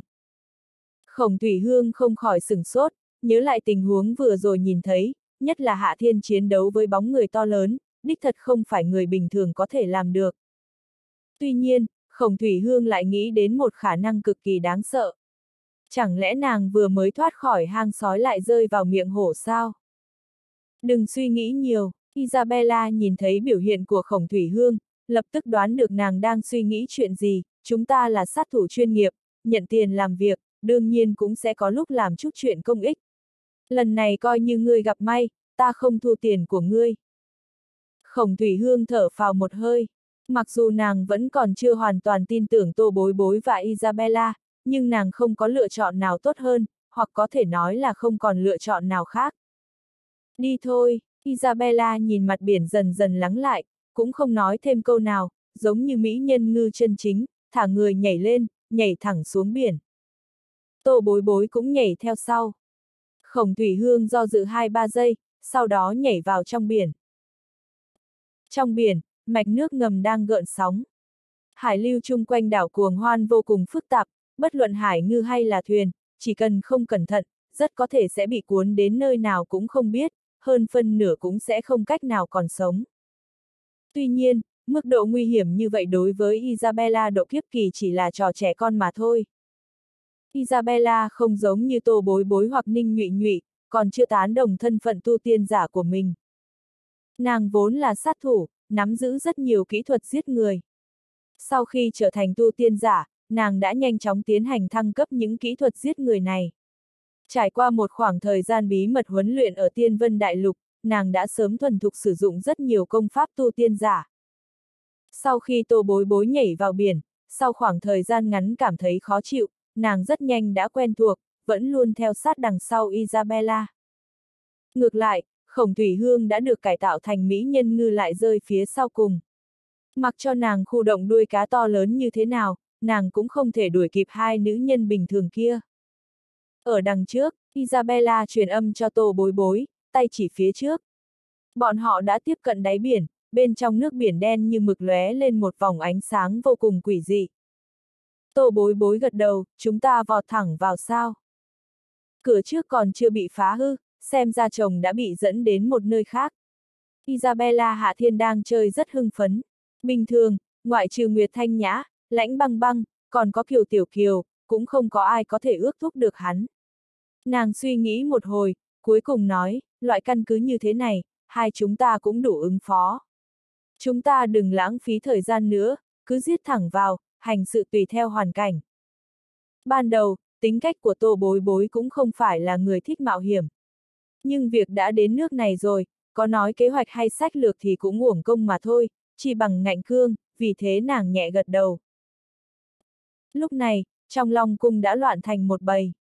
Đầu tiên, một vật thí nghiệm cao cấp chạy trốn, tiếp theo, thành viên được phái ra liên tục bị hao tổn, thậm chí còn xuất động vũ khí bí mật cường đại nhất cũng không thể lắng lại sự việc. Người phụ trách căn cứ đau đến đầu muốn nổ tung, bất mãn quát mắng người bên dưới, các người ăn cứt mà làm việc sao? Ngay cả người của đảo cuồng hoan cũng không giải quyết được. Hồi Long Vương Đại Nhân, đám người kia dường như không phải người của bá tức cuồng hoan. Nam nhân vảy đen chạy trốn về quỳ trên mặt đất, có chút lo lắng nói, hình như là một thế lực mới, rất có thể đã tiếp nhận đảo cuồng hoan. Người được gọi là Long Vương là một nam nhân trung niên mặc hộ giáp đặc chế màu đen, một lần nữa giận dữ quát, vậy các ngươi cũng là loại ăn cơm khô mà thôi. Chuyện lớn như vậy, vì sao các ngươi lại không phát hiện ra? Một nữ nhân tóc vàng bên cạnh giống như thư ký giải thích, trước đó, chúng ta đã cùng với bá tước cuồng hoan ký một phần hiệp nghị không quấy nhiễu lẫn nhau. Nếu chúng ta tự tiện tiến vào đảo cuồng hoan, rất có thể sẽ khiến song phương khai chiến. Mấy loại hiệp nghị như thế chỉ là giấy chùi đít. Long Vương gầm lên, các người đúng là ngu như lợn, chỉ chút chuyện nhỏ, kết quả lại để sơ suất lớn như thế. Các ngươi nói chúng ta nên kết thúc như thế nào? Vì kế hoạch hôm nay, chúng ta chỉ có thể tiêu diệt toàn bộ những thế lực không rõ. Nữ thư ký tóc vàng bình tĩnh đáp, nói không chừng, chúng ta còn có thể thuận lợi thu được đảo cuồng hoan, đến lúc đó, chúng ta không cần co quắp dưới đáy biển, chi phí cũng giảm một mảng lớn. Ta nghĩ các ông chủ đằng sau nhất định sẽ rất cao hứng. Người tưởng đảo cuồng hoan dễ nuốt như vậy sao? Long Vương hừ lạnh, có chút trào phúng, không nói trước bá tước cuồng hoan là lão quái vật sống hơn ngàn năm, người có thể xử lý loại quái vật này, người cho rằng cũng là loại dễ dùng à. Nữ thư ký tóc vàng tuyệt không lo lắng, gương mặt chỉ toàn là thần sắc ngạo nghễ, có lợi hại hơn nữa cũng không có khả năng lợi hại hơn hắc lân long thần của chúng ta, tin rằng rất nhanh sẽ có kết quả thôi. Tốt nhất là nên như thế. Vị long vương kia thật sự không có đủ lòng tin, vẫn cẩn thận từng ly từng tí như cũ, lập tức phái tam miểu tuần hải dạ xoa ra ngoài tìm hiểu tình huống bên phía đảo Cuồng Hoan. Còn nữa, đã tìm ra được tin tức của tiểu đội truy tung hắc lân long thần không? Nữ thư ký tóc vàng trả lời, ngài yên tâm đi, tất cả đều nằm trong lòng bàn tay của chúng ta. Vật thí nghiệm chạy trốn kia, rốt cuộc là chuyện gì xảy ra? Long Vương rất nhanh đã nghĩ đến một vấn đề, cơ thể của nàng ta, còn có đầu óc đã được cải tạo, tại sao vẫn còn ý thức như trước? Còn nữa, nàng ta chạy thoát như thế nào? Ta thật ra đã điều tra ra được một số manh mối. Nữ thư ký tóc vàng lấy ra một cái máy, phát ra một đoạn hình ảnh, tiến hành giải thích, hẳn là có liên quan đến vật thí nghiệm mà tuần hải dạ xoa bắt được hai ngày trước, trong đó có một đạo sĩ trung niên họ thịnh. Ông ta đã che giấu bản lãnh của mình. Khi nhân viên nghiên cứu chuẩn bị tiêm thuốc mê cho ông ta, ông ta bỗng nhiên nổi điên đả thương không ít thủ vệ, lại phá mấy vật chứa thí nghiệm. Lúc đó, phần lớn cảnh vệ đều tham gia bắt gã đạo sĩ, cho nên vật thí nghiệm số 13 mới chạy đi. Gã đạo sĩ kia đâu rồi? Ngươi đừng nói với ta ông ta cũng chạy trốn rồi đấy. Long Vương lạnh lùng nói, ta vừa mới rời đi có mấy ngày, ngươi lại để phát sinh nhiều sơ suất đến như thế. Ta có thể yên tâm giao cho các ngươi quản lý sao? Thân hình nữ thư ký tóc vàng run lên, lập tức báo cáo, hồi Long Vương đại nhân, gã đạo sĩ kia đã bị bắt. Những vật thí nghiệm khác cũng đã được đưa về các vật chứa. Hiện tại cũng chỉ còn vật thí nghiệm số 13 còn chưa bắt về được. Nhưng ngài yên tâm đi, chúng ta nhất định sẽ mau chóng bắt nàng ta trở về. Báo cáo, lúc này, một thủ vệ bỗng nhiên lớn tiếng báo cáo, phía trước phát hiện có ba bóng người không rõ đang nhanh chóng đến gần, xin hỏi ứng đối ra sao. Ba bóng người không rõ. Long Vương vung tay lên, ra lệnh, đừng nóng vội, các ngươi cứ để bọn chúng đến gần.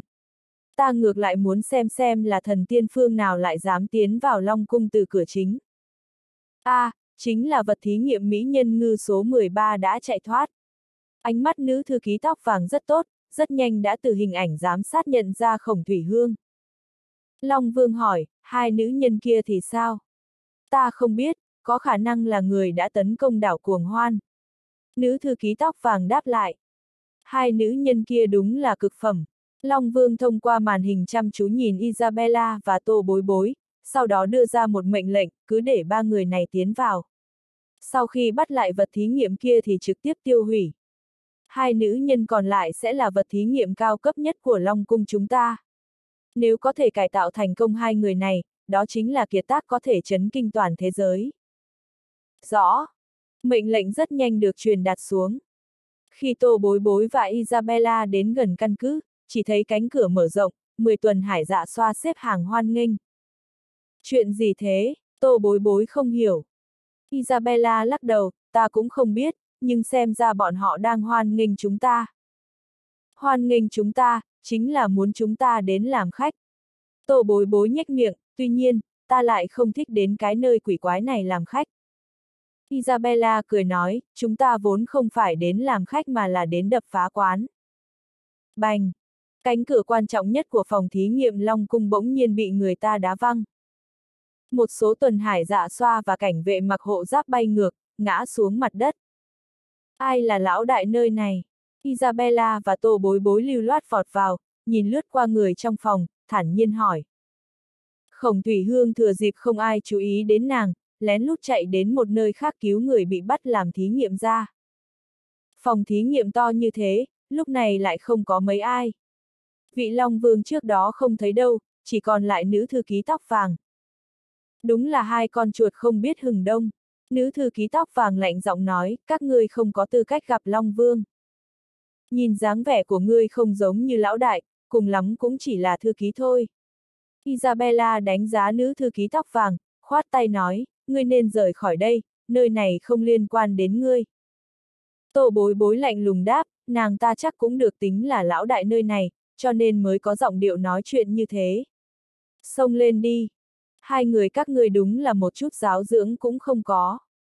Nữ thư ký tóc vàng khoanh tay, lạnh nhạt nhìn Isabella và tô bối bối xông đến, ánh mắt hiện lên sự khinh bỉ, chúng ta đã có ý tốt mở cửa mời các ngươi, kết quả các ngươi lại lỗ mãng xông đến như thế. Chúng ta có giáo dưỡng hay không không phải do ngươi nói. Tô bối bối không để mình bị đẩy đi vòng vòng, lạnh giọng phản bác, loại xúc sinh bắt người làm thí nghiệm như các ngươi, hoàn toàn không xứng nói đến giáo dưỡng. Isabella gật đầu tán đồng, nói hay lắm. Ta đã cho thể diện mà các ngươi lại không cần. còn ngươi nữ thư ký tóc vàng co rụt lại, cũng lời nói câu khách sáo, ta vốn định mời các ngươi làm thượng khách long cung chúng ta, tiếc là các ngươi không biết điều, vậy để ta biến các ngươi thành tù nhân. Nói nhiều như vậy còn không phải muốn đánh nhau sao? Tô bối bối nhếch miệng, cứ tiến hành sớm không phải tốt hơn à? Isabella mỉm cười, nói với tô bối bối, bối bối, ngươi không biết đâu, có một số thứ không phải người có đôi khi thích giả vờ giả vịt, biểu hiện giống như người vậy. Đây là các ngươi tự tìm. Nữ thư ký tóc vàng nghe hai người châm chọc khiêu khích, đã sớm bị chọc giận, cảnh vệ đâu, các ngươi chết hết rồi sao? Còn không mau tiến lên bắt bọn họ lại. Đừng gọi nữa, tô bối bối khẽ cười, đám cảnh vệ bên ngoài đều bị chúng ta giải quyết rồi. Người có gọi rách cổ họng cũng không có ai vào đâu. Hừ, các ngươi quá tự cho là đúng rồi. Nữ thư ký tóc vàng hiển nhiên đã bị Isabella chọc giận, lập tức ra lệnh, thiên lân vệ xuất động, bắt hai nữ nhân này lại cho ta. Theo tiếng hét lớn của nàng ta, bảy tám lỗ tròn đột nhiên xuất hiện, tiếp theo có bảy tám khoang thuyền hình tròn bay lên. Bên trong khoang thuyền hình tròn đứng đầy nam tử thân cao mã đại, vừa nhìn là biết đã trải qua cải tạo, bởi vì cơ bắp của bọn họ mạnh đến mức không giống người, hơn nữa trên da còn có vảy dày đặc. Những người này có hơi chút giống với nam nhân vảy đen trước đó. Tô bối bối nhìn những người đã được cải tạo trong khoang thuyền, tuy nhiên, vảy trên người nhiều hơn, nhìn có chút nổi da gà. Isabella nhắc nhở, hẳn là vật thí nghiệm cấp bậc cao hơn, người nên cẩn thận một chút. Ha ha, tất nhiên rồi. Nữ thư ký tóc vàng hừ lạnh một tiếng, người kia chỉ là tuần hải bách lân vệ, còn đây là thiên lân vệ. Sức mạnh trên người bọn họ mạnh gấp trăm lần nhân loại bình thường, các ngươi hoàn toàn không phải đối thủ. Gấp trăm lần, Isabella sửng sốt, gương mặt lộ vẻ ngoài ý muốn. Ánh mắt nữ thư ký tóc vàng trở nên đắc ý, thế nào, sợ rồi sao? Cũng không phải, biểu hiện của Isabella chuyển sang xem thường, mới có gấp trăm lần thì có gì phải sợ, chẳng khác gì phế vật. Ngươi, nữ thư ký tóc vàng giận đến mức phổi muốn nổ tung, quát lớn với bảy tám thiên lân vệ, các ngươi mau bắt hai nữ tiện nhân này lại cho ta, đánh một trận thật mạnh, đừng để chết là được.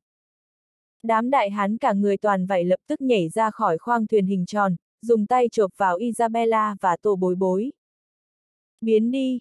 Tổ bối bối khó chịu, nhấc chân quét ngang, trực tiếp đá đám gọi là thiên lân vệ văng xa mấy mét, nặng nề đập vào vách tường.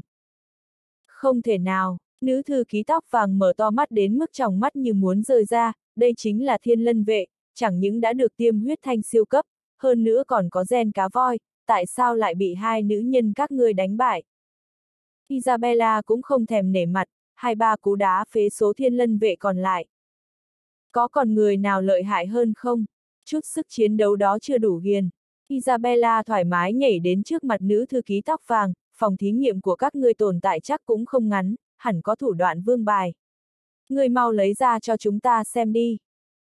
Nữ thư ký tóc vàng cảm thấy uy nghiêm của mình bị khiêu khích. Nàng ta lạnh lùng nhìn chằm chằm Isabella, các người đừng nên quá đắc ý, đừng có mà chọc giận ta. Sau lưng ta còn có Long Vương Đại Nhân. Trước đó, các người tốt nhất nên giữ khiêm tốn, nếu không, các người sẽ hối hận, a. À. Bốp!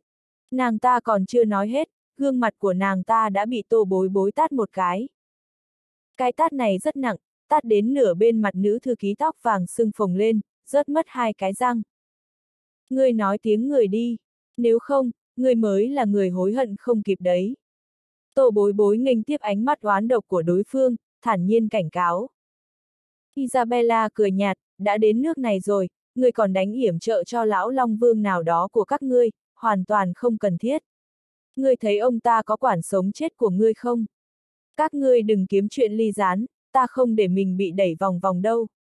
Ánh mắt nữ thư ký tóc vàng trở nên âm trầm, lạnh giọng nói, có thể quên mình phục vụ cho Long Vương Đại Nhân là vinh quang suốt đời của ta.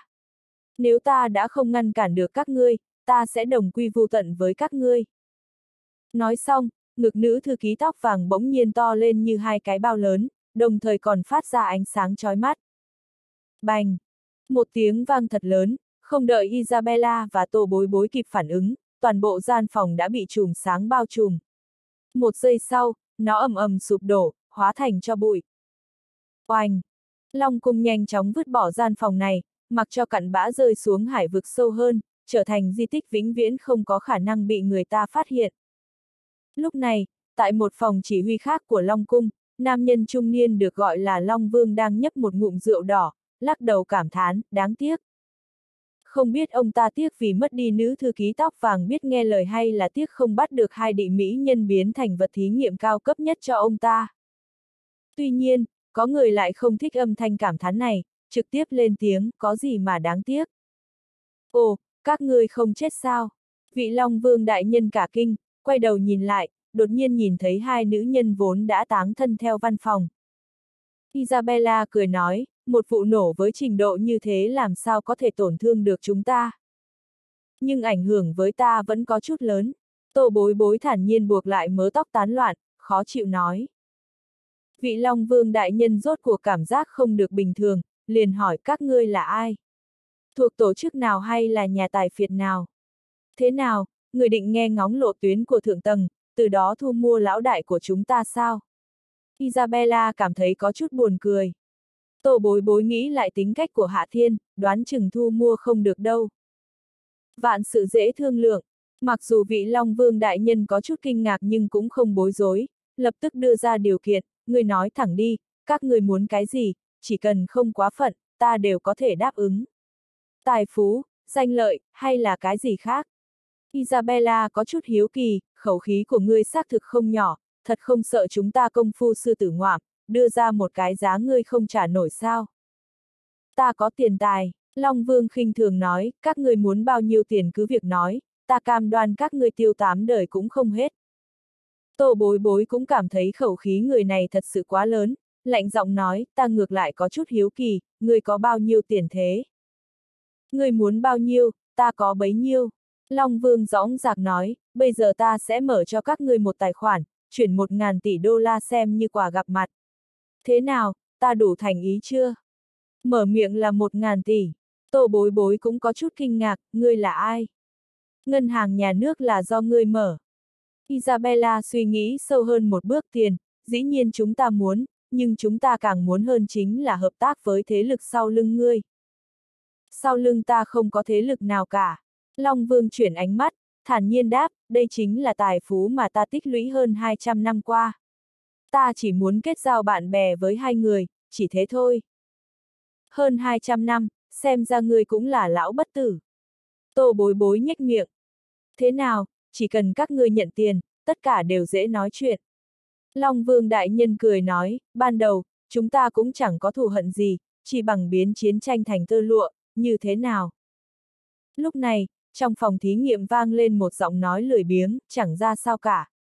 Tên ngu ngốc ngươi khẳng định muốn đi chết.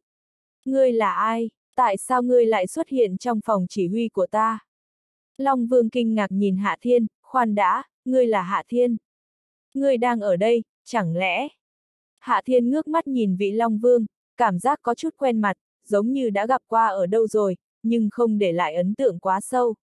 Dù sao, hắn giết mấy tên ngu ngốc nhiều lắm, thật sự không rảnh để mà nhớ kỹ. Tốt tốt tốt, nếu là ngươi, vậy thì dễ làm rồi. Long Vương lấy một điều khiển từ xa trong ngực ra, hôm nay chính là ngày chết của các ngươi, để các ngươi nhìn xem 200 năm tâm huyết của ta. Ra đi, Hắc Lân Thần Long. Chỗ sâu Hải Dương. Nơi hắc ám vô tận bỗng dưng khởi động từng tầng mạch nước ngầm.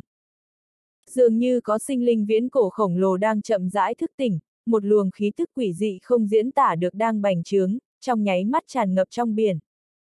Căn cứ Long Cung dưới đáy biển cũng kịch liệt rung động theo, có chút cảm giác lung lay như sắp đổ. Không bao lâu sau, một cơ thể vô cùng to lớn xuất hiện trên không căn cứ Long Cung, nội cặp mắt thôi cũng không thua kém cả tòa căn cứ bao nhiêu. Con người lóe lên ánh sáng chấn động tâm hồn người khác, mang đến cảm giác áp bách. Cái bóng kia chỉ nhẹ nhàng phun ra hai luồng khí tức, nhưng cũng đủ để thổi cả căn cứ bay lên. Những nhân viên nghiên cứu khoa học và cảnh vệ bên trong căn cứ đều hoảng loạn, quyết định rút lui khỏi nơi này.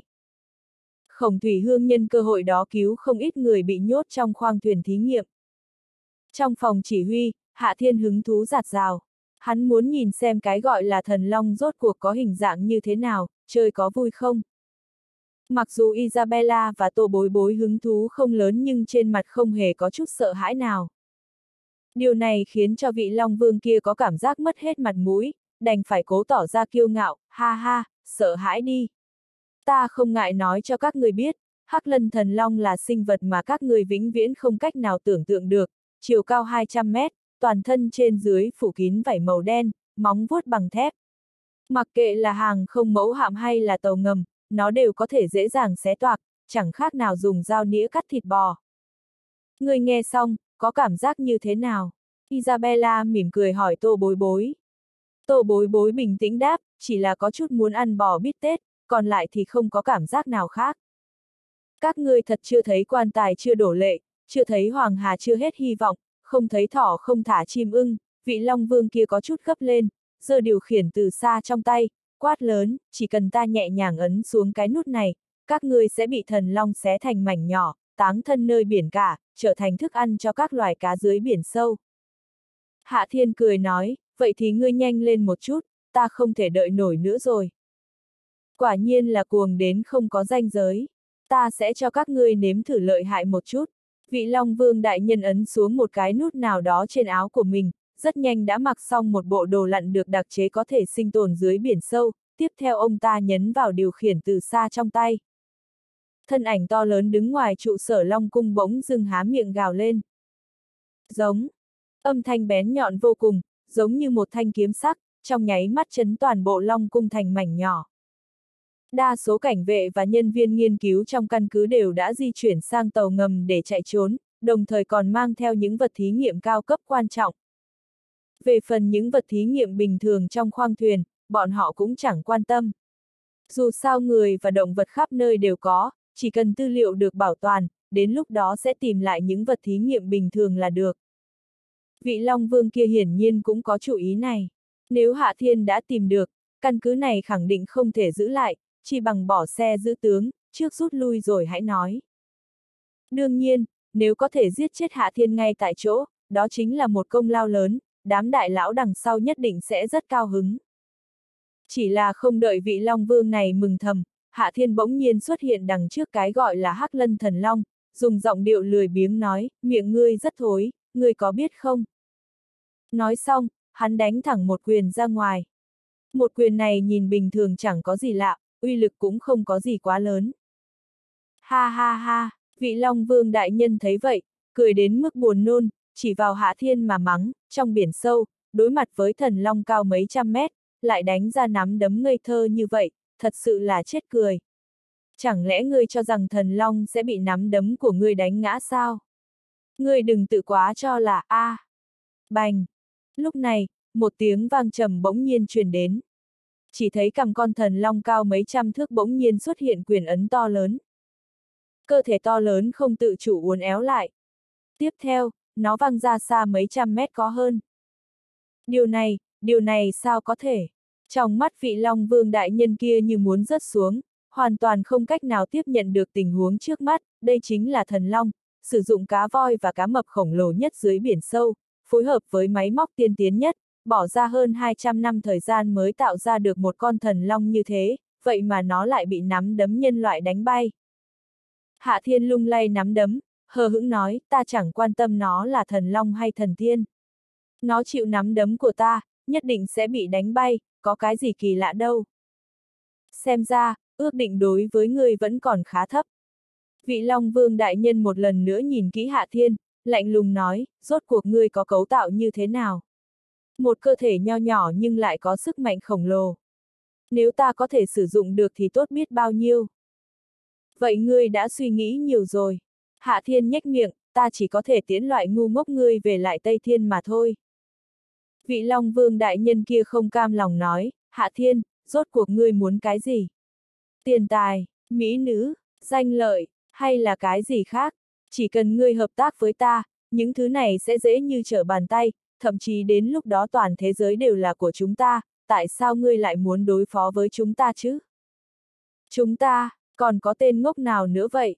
Hạ Thiên hỏi ngược lại, người mau nói ra, ta bắt cùng một lúc luôn. Hạ Thiên, người đích thật rất mạnh, sức mạnh này đã nhanh đột phá giới hạn. Vị Long Vương đại nhân kia lắc đầu, có chút tiếc nuối, nhưng có một số tồn tại lại nằm trên giới hạn, người vĩnh viễn không đạt được đâu. Hạ Thiên hơi mất kiên nhẫn, người nói nhảm nhiều quá, muốn nói gì thì nói nhanh lên, không nói thì đi chết đi. Ta còn chưa thua đâu. Vị Long Vương đại nhân kia đột nhiên nhấn hết toàn bộ nút trên điều khiển, lần này xem như tai bay vạ gió. Tuy nhiên, cho dù ta chết, cũng chẳng mấy chốc sẽ trùng sinh, hy vọng các người cũng sẽ có vận may như thế. Hạ Thiên đáp, chúng ta không cần vận may, bởi vì chúng ta sẽ không chết. Vậy thì chờ xem, thân hình vị Long Vương đại nhân ầm ầm sụp đổ, nổ thành một chùm sáng. Chùm ánh sáng này lại khiến cho con thần Long kia kinh ngạc. Con hắc lân thần long cao mấy trăm mét nhìn thấy chùm sáng, đột nhiên rơi vào nóng này, cơ thể không bị khống chế dẫy dụa kịch liệt, quậy biển sâu thành một mảng đục ngầu, mạch nước ngầm dần dần tích tụ thành một dòng nước điên cuồng. Này, trước đó ta để ngươi trốn thoát, lần này ta nhất định phải phân thắng bại với ngươi. Hạ Thiên xuất hiện trước mặt con hắc lân thần long, khó chịu nói. Con hắc lân thần long này chính là bóng đen bàng cự trước đó ở đảo Cuồng Hoan. Lúc đó Hạ Thiên đã đánh lui nó, sau đó lại cùng nó đuổi nhau dưới biển sâu. Tuy nhiên, đuổi một hồi trong biển, Hạ Thiên lại để mất dấu nó. Con hắc lân thần long ở trong biển sâu, hình như có thông đạo đặc biệt, mấy lần biến mất trước mắt Hạ Thiên. Cho đến bây giờ, Hạ Thiên chưa gặp qua tình huống như thế, tâm trạng cực kỳ khó chịu. Cho nên, hắn vẫn luôn tìm kiếm tung tích quái vật dưới biển sâu. Bây giờ đã bắt được cơ hội, Hạ Thiên không để cho nó chạy trốn thêm lần nữa, nhất định phải phân ra thắng bại. Giống. Hai mắt hắc lân thần long phiếm hồng, hung thần ác sát nhìn chằm chằm Hạ Thiên, bỗng dưng gầm lên nhào đến phía hắn. Đến hay lắm, Hạ Thiên nắm chặt nắm đấm, không hề có chút sợ hãi, lại là một quyền không có gì lạ. Bành! Nắm đấm đánh vào biển, cách không tuôn ra từng tầng sóng biển. Tuy nhiên, con hắc lân thần long kia cũng không phải vật ngu xuẩn, nó uốn éo thân hình tránh đi quyền phong của Hạ Thiên. Rất nhanh, hắc lân thần long đã đến trước mặt Hạ Thiên. Nó cũng chẳng có chiêu thức gì, trực tiếp dùng đầu mà đụng, dùng răng mà cắn, dùng đuôi mà oanh kích. Một người một rồng đấu đến quên cả trời đất dưới biển sâu. Isabella nhìn thấy, cảm thấy trước khi Hạ Thiên còn chưa chơi chán, hắn nhất định sẽ không muốn làm chuyện gì khác, liền quay sang nói với tổ bối bối, được rồi, mặc kệ bọn họ đi, chúng ta đi tìm khổng thủy hương. Đi, tô bối bối nhìn một hồi cũng mất đi hứng thú, quay người đi theo đằng sau Isabella. Một lát sau, Isabella và tô bối bối đã tìm được khổng thủy hương. Nàng đang đuổi theo chiếc tàu ngầm chạy trốn, chỉ là tốc độ của nàng thật sự quá chậm, hoàn toàn đuổi không kịp. Đám người kia bỏ lại một số động vật thí nghiệm, tất cả đều bị ném xuống biển. Khổng Thủy Hương nói rõ tình huống trước, còn nữa, có không ít người bị bọn họ mang đi, chúng ta nhất định phải cứu những người đó. Được rồi, chúng ta mang người đuổi theo, đảm bảo bọn họ trốn không thoát đâu. Isabella ôm lấy eo cá khổng Thủy Hương, cười nói, người ôm chặt ta nhé, đừng buông tay. Khổng Thủy Hương còn chưa lấy lại tinh thần, chỉ trong chớp mắt, nàng phát hiện Isabella đã mang nàng bơi đến hơn mấy ngàn mét. Cái này, khổng thủy hương giật mình. Tại sao tốc độ của nữ nhân này còn nhanh hơn cả mỹ nhân ngư đã được cải tạo giống như nàng? Isabella vận dụng chẳng qua chỉ là phiếu miểu bộ, bất luận trên không trung, lòng đất, hay trong biển đều có thể sử dụng. Tô bối bối tất nhiên cũng tương tự nhưng tốc độ chậm hơn Isabella một chút. Tuy nhiên, tâm trạng của nàng đang tốt, tuyệt không gấp. Rất nhanh, ba người đã đuổi kịp tàu ngầm. Người qua đó chào hỏi đi. Isabella mỉm cười nói với tô bối bối. Tô bối bối im lặng, tuy nhiên nàng vẫn nghe lời xông lên phía trước, vận động đôi chân dài đạp một cước về phía con cự thú sắt thép. Oanh! Con tàu chịu một kích toàn lực của tu tiên giả Kim Đan Kỳ, lập tức bị đánh thành một cái lỗ lớn. Người trong thuyền đều hoảng hốt, không biết chuyện gì xảy ra. Rốt cuộc chuyện gì xảy ra vậy? Người chỉ huy tối cao của con tàu, cũng là nhà khoa học thủ tịch của đội nghiên cứu khoa học Long Cung vuốt mái tóc bạc phơ của mình quát lớn. Hình như chúng ta bị tập kích, một người đang điều khiển tàu ngầm có chút sợ hãi trả lời. Nhà khoa học tóc bạc trắng lại hỏi, đối phương có hình dạng gì? Tàu ngầm, chiến hạm hay là cái gì? Bọn họ sử dụng ngư lôi đối với chúng ta hay là? Tất cả đều không phải. Sắc mặt nhân viên kia trắng bệch, ánh mắt tràn ngập vẻ khó tin, đối phương, hình như chỉ dùng một cái chân. Một chân, ngươi nói vậy là có ý gì?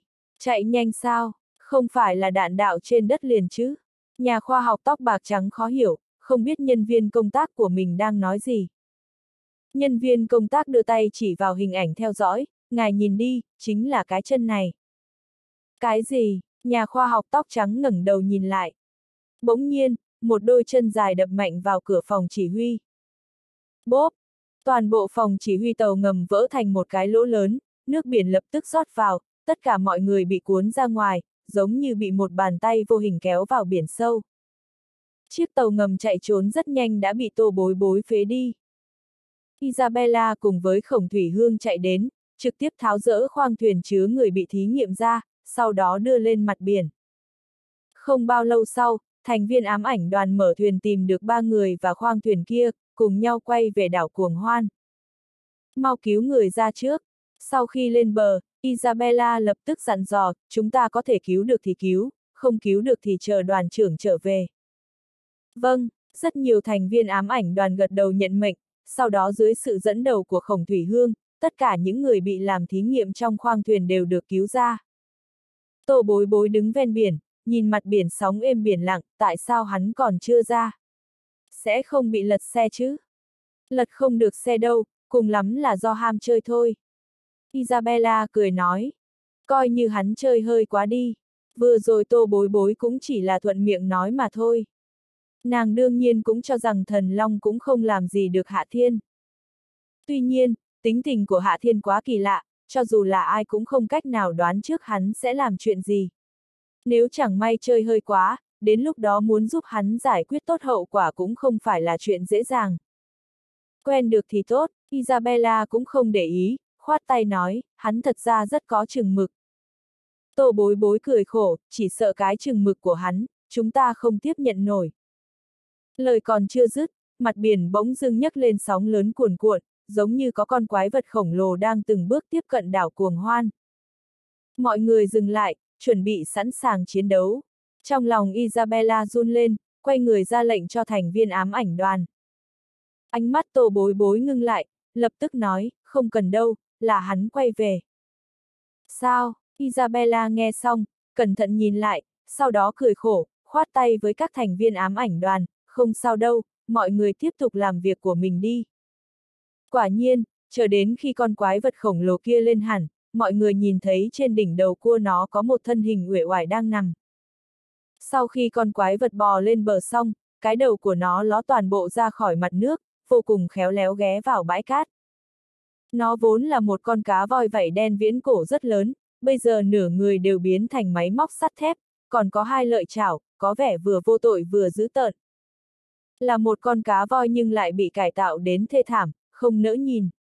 Tô bối bối yên lặng nhìn con quái vật, lắc đầu không thôi, người trong phòng thí nghiệm đó, tính thẩm mỹ thật sự quá kém. Chàng đúng là nhàn nhã thật đấy. Isabella nhảy lên lưng con cá voi, mũi chân đá vào Hạ Thiên đang ngủ nướng, tình huống của chàng bây giờ là như thế nào? Hạ Thiên đưa tay ôm lấy vòng eo nhỏ nhắn của Isabella, bảo nàng cùng nằm xuống, cười nói, vợ sát thủ, thì ra nằm phơi nắng thật sự rất thoải mái. Đây không phải nói nhảm sao. Isabella tựa vào lòng Hạ Thiên, buông lỏng cơ thể, nếu không, tại sao có nhiều người lại thích đến bãi biển nghỉ ngơi như thế? Bãi biển không đủ thoải mái. Hạ Thiên cười một tiếng, vỗ vào người con quái vật, nằm trên lưng nó phơi nắng, hiệu quả gấp bội. Nàng có muốn thử một chút không? Isabella lắc đầu, thôi được rồi, bây giờ ta đang rất bận. Chàng dự định nuôi nó làm thú cưng à? Không, Hạ Thiên lắc đầu, ta đã thu nó làm tiểu đệ. Bây giờ nó tên là Tiểu Hắc, ta muốn dẫn nó về Giang Hải. Ngươi nói thật hay giả vậy? Tô bối bối cũng nhảy lên. Sau khi nghe Hạ Thiên nói, nàng cảm thấy có chút hoang mang, người dự định thu một con cá voi làm tiểu đệ. Lại còn muốn mang về thành phố Giang Hải. Hạ Thiên nghiêm túc nói, đúng vậy, tiểu đệ của ta đương nhiên phải ở Giang Hải rồi. Không nói chuyện tiểu đệ, người cảm thấy có chỗ nào ở Giang Hải có thể dung được nó. Tô bối bối có chút không nói nổi. Rất nhiều nơi, Hạ Thiên Tuyệt không cảm thấy đây là vấn đề gì, hồ phóng đông, không được, có thể thả vào công viên Hải Dương hoặc chúng ta xây một chỗ cho nó. Lần này, Isabella cũng không nhìn được mà thuyết phục, chàng nên từ bỏ ý niệm này đi. Đây chính là cá nước mặn, chàng thả vào nước ngọt, đoán chừng nó không sống được bao lâu đâu. Huống chi, hình thể của nó quá lớn, rất dễ gây nên sự cố không cần thiết. Tô bối bối nói tiếp, đã nói là tiểu đệ của ngươi, dù sao ngươi cũng phải hỏi ý kiến của nó chứ. Này, tiểu hắc, ngươi có muốn đến Giang Hải không? Hạ Thiên hỏi. Con cá voi vảy đen phát ra tiếng kêu ngắn ngủi, nghe qua có vẻ không đồng ý cho lắm. Hạ Thiên nhếch miệng, được rồi, không đi thì không đi. Chỉ bằng cứ để nó ở đây. Isabella đề nghị, nơi này về sau sẽ là trụ sở huấn luyện của ám ảnh đoàn, vừa lúc nó có thể làm thần thú bảo vệ đảo. Nếu có người dám có ý đồ với nó, ám ảnh đoàn cũng có thể ra tay bảo vệ. 2. Tạm thời cứ như vậy đi. Hạ Thiên xoa cằm, hắn vẫn muốn mang con cá voi này về Giang Hải, không có việc gì thì cưỡi nó đi chơi, uy phong đến cỡ nào. Tô bối bối và Isabella liếc nhìn nhau, đương nhiên biết Hạ Thiên đang có ý định gì, nhưng hai nàng cũng không có tiếp tục khuyên. Đám người Hạ Thiên ở lại đảo Cuồng Hoan hai ngày. Trong lúc đó, mọi người thường xuyên cưỡi tiểu hắc vui chơi trên biển. Con cá voi vảy đen viễn cổ này chính là một hòn đảo di động, vừa an toàn vừa thoải mái dễ chịu. Không ít người leo lên người nó xong đều có chút không nỡ leo xuống. Tuy nhiên, Hạ Thiên cũng không thể cứ ở mãi đảo cuồng hoan vui chơi. Rất nhanh, thành phố Giang Hải truyền đến tin tức, nói có chuyện quan trọng, muốn Hạ Thiên và Tô Bối Bối nhanh chóng quay về. Isabella tiếp tục lưu lại đảo Cuồng Hoan, tiến hành huấn luyện thành viên ám ảnh đoàn mới cũ, để bọn họ càng có thể ứng đối với thế giới ẩm ẩm dậy sóng sau khi linh khí khôi phục ngày sau. Hạ Thiên và Tô Bối Bối leo lên du thuyền. Du thuyền này còn chở theo không ít khách, tất cả đều là người được cứu từ phòng thí nghiệm Long Cung ra. Trong đó còn có người tên là Thịnh Tam Gia. Lúc trước, ông ta đã từng gặp qua Hạ Thiên, chỉ là về sau không cẩn thận bị người của Long Cung bắt. Sở dĩ Khổng Thủy Hương có thể chạy thoát khỏi Long Cung, Thịnh Tam gia đã giúp đỡ không ít. Đa tạ ân cứu mạng của Hạ Thần Y. Trên bong thuyền, gương mặt Thịnh Tam gia toàn là sự cung kính, tâm phục khẩu phục, chắp tay nói với Hạ Thiên, về sau, nếu ngươi có phân phó gì, cho dù sông pha khói lửa, thịnh mỗ, còn có thanh nghiêu cung sẽ không chối từ. Ta không có cứu ngươi, ngươi không cần cảm ơn ta. Hạ Thiên khoát tay, cứu ngươi chính là bối nhà đầu, còn có vợ sát thủ. Thịnh Tam gia lại nói với Tô Bối Bối cũng đang ở trên bong thuyền, đại ân của Tô Tiểu Thư, còn có Isabella Tiểu Thư, thịnh mỗ tất nhiên cũng ghi nhớ trong lòng. Tô Bối Bối lạnh nhạt nói, không cần đâu, chỉ tiện tay mà làm thôi. Các ngươi tiện tay mà làm, nhưng mạng của chúng ta được cứu thật. Thịnh Tam gia cảm khái nói, ta xin đại diện cho tất cả những người được cứu nói lời cảm ơn, đồng thời tặng cho hai vị một ít quà, mong hai vị nhận cho. Được rồi, người đừng đến làm phiền ta nữa. Hạ thiên nhếch miệng, ta đang cùng với bối nhà đầu nhắm cảnh, lát nữa còn phải ngắm sao và trăng, ngâm thi từ ca phú, bản nhân sinh triết học, còn phải. Tô bối bối chừng mắt nhìn Hạ Thiên, từ khi nào ngươi học được mấy câu khiến người ta buồn nôn như thế? Đây không phải là lời tâm tình sao? Hạ Thiên ngẩn ra, có chút do dự nói, vợ sát thủ nói, chỉ cần ta nói với nàng những thứ này, nàng nhất định sẽ vô cùng cảm động, sau đó lấy thân báo đáp. Cảm động cái đầu ngươi đấy, về sau ngươi đừng nói mấy lời khiến người ta buồn nôn như vậy nữa. Tô bối bối chừng trắng mắt, không thèm để ý đến Hạ Thiên. Thịnh Tam gia thấy vậy, vô cùng thức thời cáo từ rời đi. Trở lại tầng dưới du thuyền, một đám người lập tức xông đến.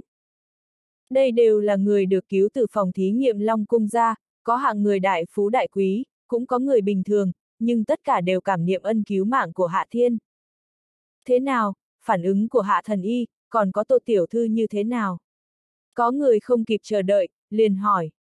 Đúng vậy, người có tặng quà cho họ không?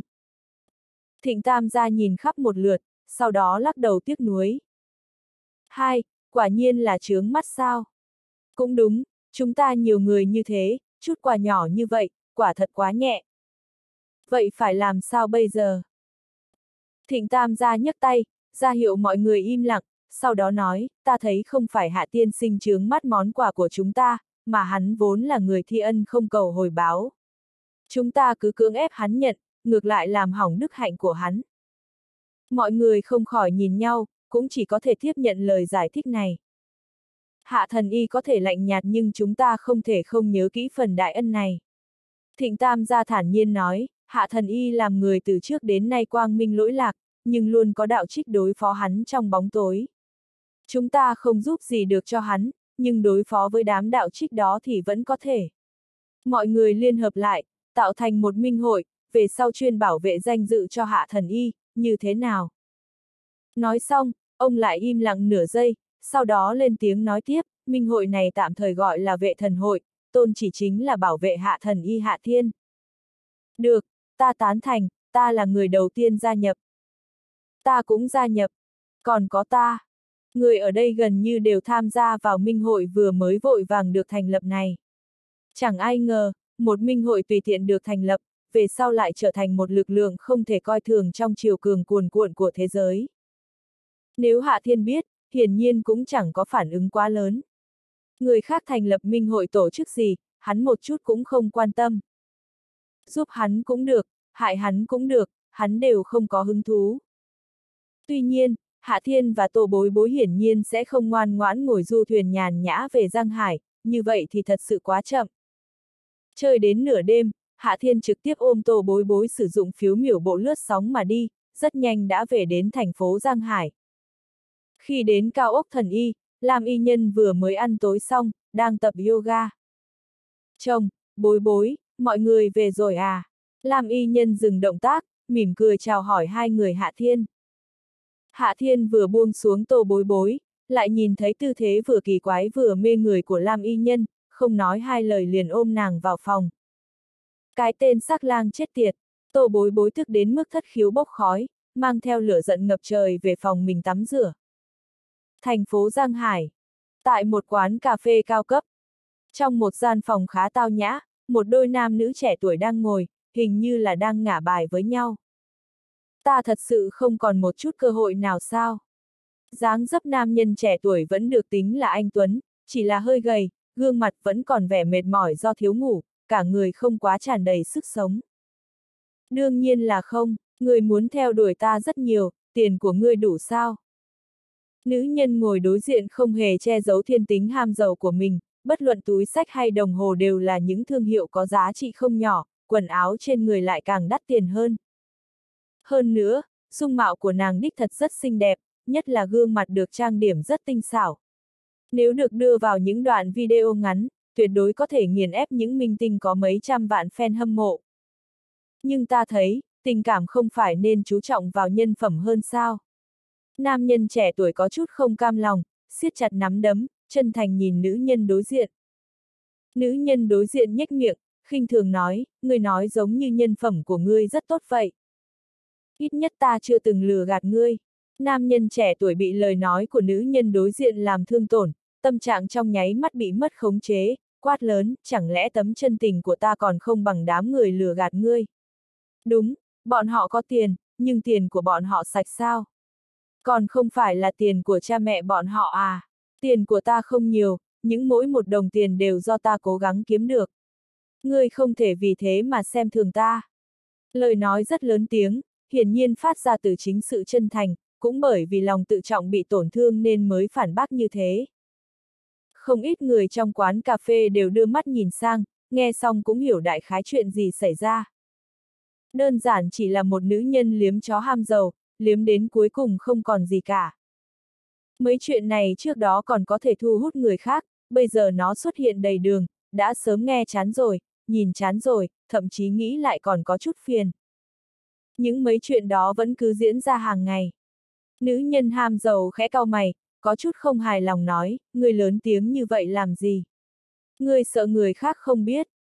Nam nhân trẻ tuổi giống như bắt được thời cơ, âm thanh ngược lại còn lớn hơn, ngươi đừng đánh chống lãng, ta chỉ hỏi ngươi một câu, ta đã vì ngươi nhiều như thế, ngươi có đồng ý làm bạn gái ta không?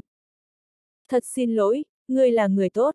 Nữ nhân ham giàu nói những lời này, biểu hiện không hề có cảm xúc. Nam nhân trẻ tuổi phẫn nộ quát, cũng chỉ vì tiền sao? Đúng, cũng chỉ vì tiền. Nữ nhân ham giàu hiển nhiên không kiên nhẫn nổi nữa, nói thẳng, nhưng ngươi có sao? Ngươi đừng nói nhiều nữa, nếu bây giờ trong tài khoản của ngươi có một vạn, ta lập tức đồng ý ngay. Nam nhân trẻ tuổi tức đến toàn thân phát run, bởi vì trong tài khoản của hắn ta chỉ còn lại mấy trăm mà thôi. Không có đúng không? Nữ nhân ham giàu cười lạnh một tiếng, sau đó đứng lên, đặt một nửa giá tiền cà phê lên bàn, vậy cũng đừng lãng phí thời gian của ta nữa, lần này chia đều, lần sau đừng có dây dưa ta. Nam nhân trẻ tuổi thật sự tuyệt vọng, ảm đạm rơi lệ.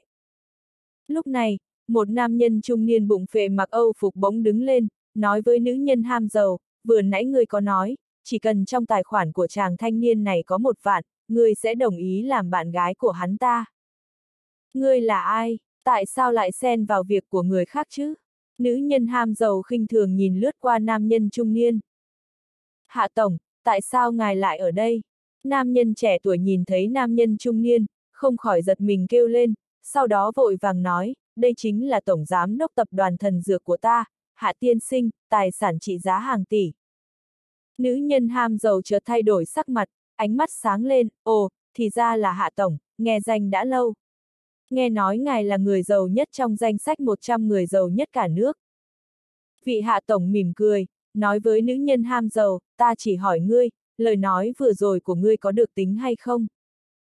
Nữ nhân ham giàu ngẩn người, trong lòng bắt đầu hoài nghi mối quan hệ giữa nam nhân trẻ tuổi với hạ tổng. Chẳng lẽ hắn ta là con riêng? Nhưng nàng ta đã sớm điều tra thân thế của nam nhân trẻ tuổi, là đời thứ ba bần nông.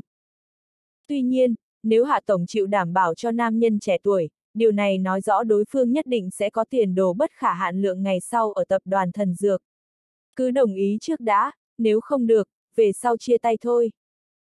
Đương nhiên, Hạ Tổng đã hỏi, làm sao ta dám nuốt lời. Nữ nhân ham giàu đành phải thừa nhận trước mặt mọi người. Vậy thì tốt, Hạ Tổng gật đầu, sau đó nhìn nam nhân trẻ tuổi, thấm thiế nói, ngươi là người chăm chỉ nhất công ty của ta. Những cố gắng của ngươi, ta đều nhìn thấy. Ngươi luôn là người đầu tiên đến công ty, cũng là người tăng ca về trễ nhất, nhưng trước giờ không hề lên tiếng kêu ca. Năm năm qua cũng không hề đòi hỏi tăng lương, thật sự vất vả cho ngươi rồi. Hôm nay, ngươi xin nghỉ nửa ngày, ta thật sự rất hiếu kỳ, không biết có chuyện gì có thể ngăn được một người luôn cố gắng như ngươi. Nghĩ không ra lại là chuyện trung thân đại sự. Hôm nay ta sẽ phá lệ giúp ngươi chuyện này. Hạ Tổng, đây đều là chuyện ta phải làm, ta nguyện ý quên mình phục vụ vì công ty. Nam nhân trẻ tuổi nghe xong, lệ nóng quanh chồng.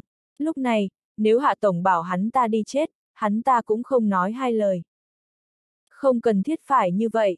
Hạ Tổng cười ha hả, Hạ Thiên ta cũng không phải loại bức bách nhân viên đi chết. Nào, đưa điện thoại của ngươi cho ta. Nam nhân trẻ tuổi lau nước mắt, mở mật mã điện thoại, sau đó đưa sang. Hạ Tổng cầm lấy điện thoại, tải một cái app, sau đó đăng ký một tài khoản, tiếp theo lớn tiếng nói với mọi người trong quán cà phê, chỉ cần mọi người tải ứng dụng cho vay thần dược, sau đó đăng ký một tài khoản, mọi người có thể vay tiền, không cần kiểm tra ngươi có tư cách hay không. Giống như vị tiểu ca này có hạn mức vay khoảng 3 vạn, bây giờ có thể rút ra một vạn thay đổi nhân sinh, cưới bạch phú Mỹ. Mọi người còn chờ gì nữa, lập tức tải A. À. Lời còn chưa nói hết, vị hạ tổng bỗng dưng bay lên, đập vỡ kính quán cà phê, nặng nề rơi xuống đường cái, bất tỉnh nhân sự. Cạch, tại một nơi hẻo lánh nào đó, một đạo diễn đầu chọc vọt ra khỏi máy quay phim, giống to với mọi người, ai, là ai đã ra tay đánh người. Ta đánh đó, bên cạnh vang lên một âm thanh lười biếng. Vị đạo diễn đầu chọc nổi giận đùng đùng đến trước mặt người kia, vỗ bàn mắng một tiếng, con mẹ nó, người có bệnh đúng không? Tại sao lại ra tay đánh người, không biết chúng ta đang quay quảng cáo sao? Biết chứ, gương mặt người này cũng không có gì thay đổi, vẫn chậm rãi nói, bởi vì các ngươi đang quay quảng cáo, cho nên ta mới nhịn đến phút cuối mới đánh ông ta. Bằng không, ta đã sớm đánh bay ông ta rồi. Còn nữa, người cũng sẽ bị ăn đòn giống như vậy. Con mẹ nó, người nói vậy là có ý gì? Vị đạo diễn đầu chọc bị chọc giận, chỉ tay vào nam nhân lười biếng mà mắng, người có biết ta là ai không? Có biết đây là công ty quảng cáo nào không? Nam nhân lười biếng thuận miệng hỏi ngược lại, không biết, người nói nghe thử một chút đi. Lão Tử là công ty quảng cáo hàng đầu trong nước, đạo diễn MV Khương Khải Mưu, hàng triệu đô la mỗi phút. Ta đã làm việc với rất nhiều nhân vật nổi tiếng hàng đầu. Đạo diễn chọc đầu đầy vẻ kiêu ngạo, sau khi tự khen mình xong liền nói với nam nhân lười biếng, hôm nay ta đến đây để quay quảng cáo cho tập đoàn thần dược. Con mẹ nó người ăn gan báo, dám đến đây gây sự. Đầu tiên, ta chưa từng nghe qua tên của ngươi. Nam nhân lười biếng móc móc lỗ tai, gương mặt hiện lên vẻ không kiên nhẫn. Tiếp theo, lòng đầu thành phố Giang Hải là tập đoàn thần y, không phải tập đoàn thần dược. Hơn nữa, tập đoàn thần y cũng không có khả năng quay mấy loại quảng cáo này. Cho nên, người đang làm loạn là các ngươi, không phải là ta. Ngươi cho rằng ngươi là ai? Đạo diễn đầu chọc tức đến muốn bể phổi, chỉ vào đối phương mà quát, ngươi nói không phải thì không phải sao. Ngươi tưởng ngươi là tổng giám đốc hạ thiên của tập đoàn thần dược à? Nam nhân lười nhác nhẹ gật đầu, ta chính là hạ thiên, nhưng là hạ thiên của tập đoàn thần y.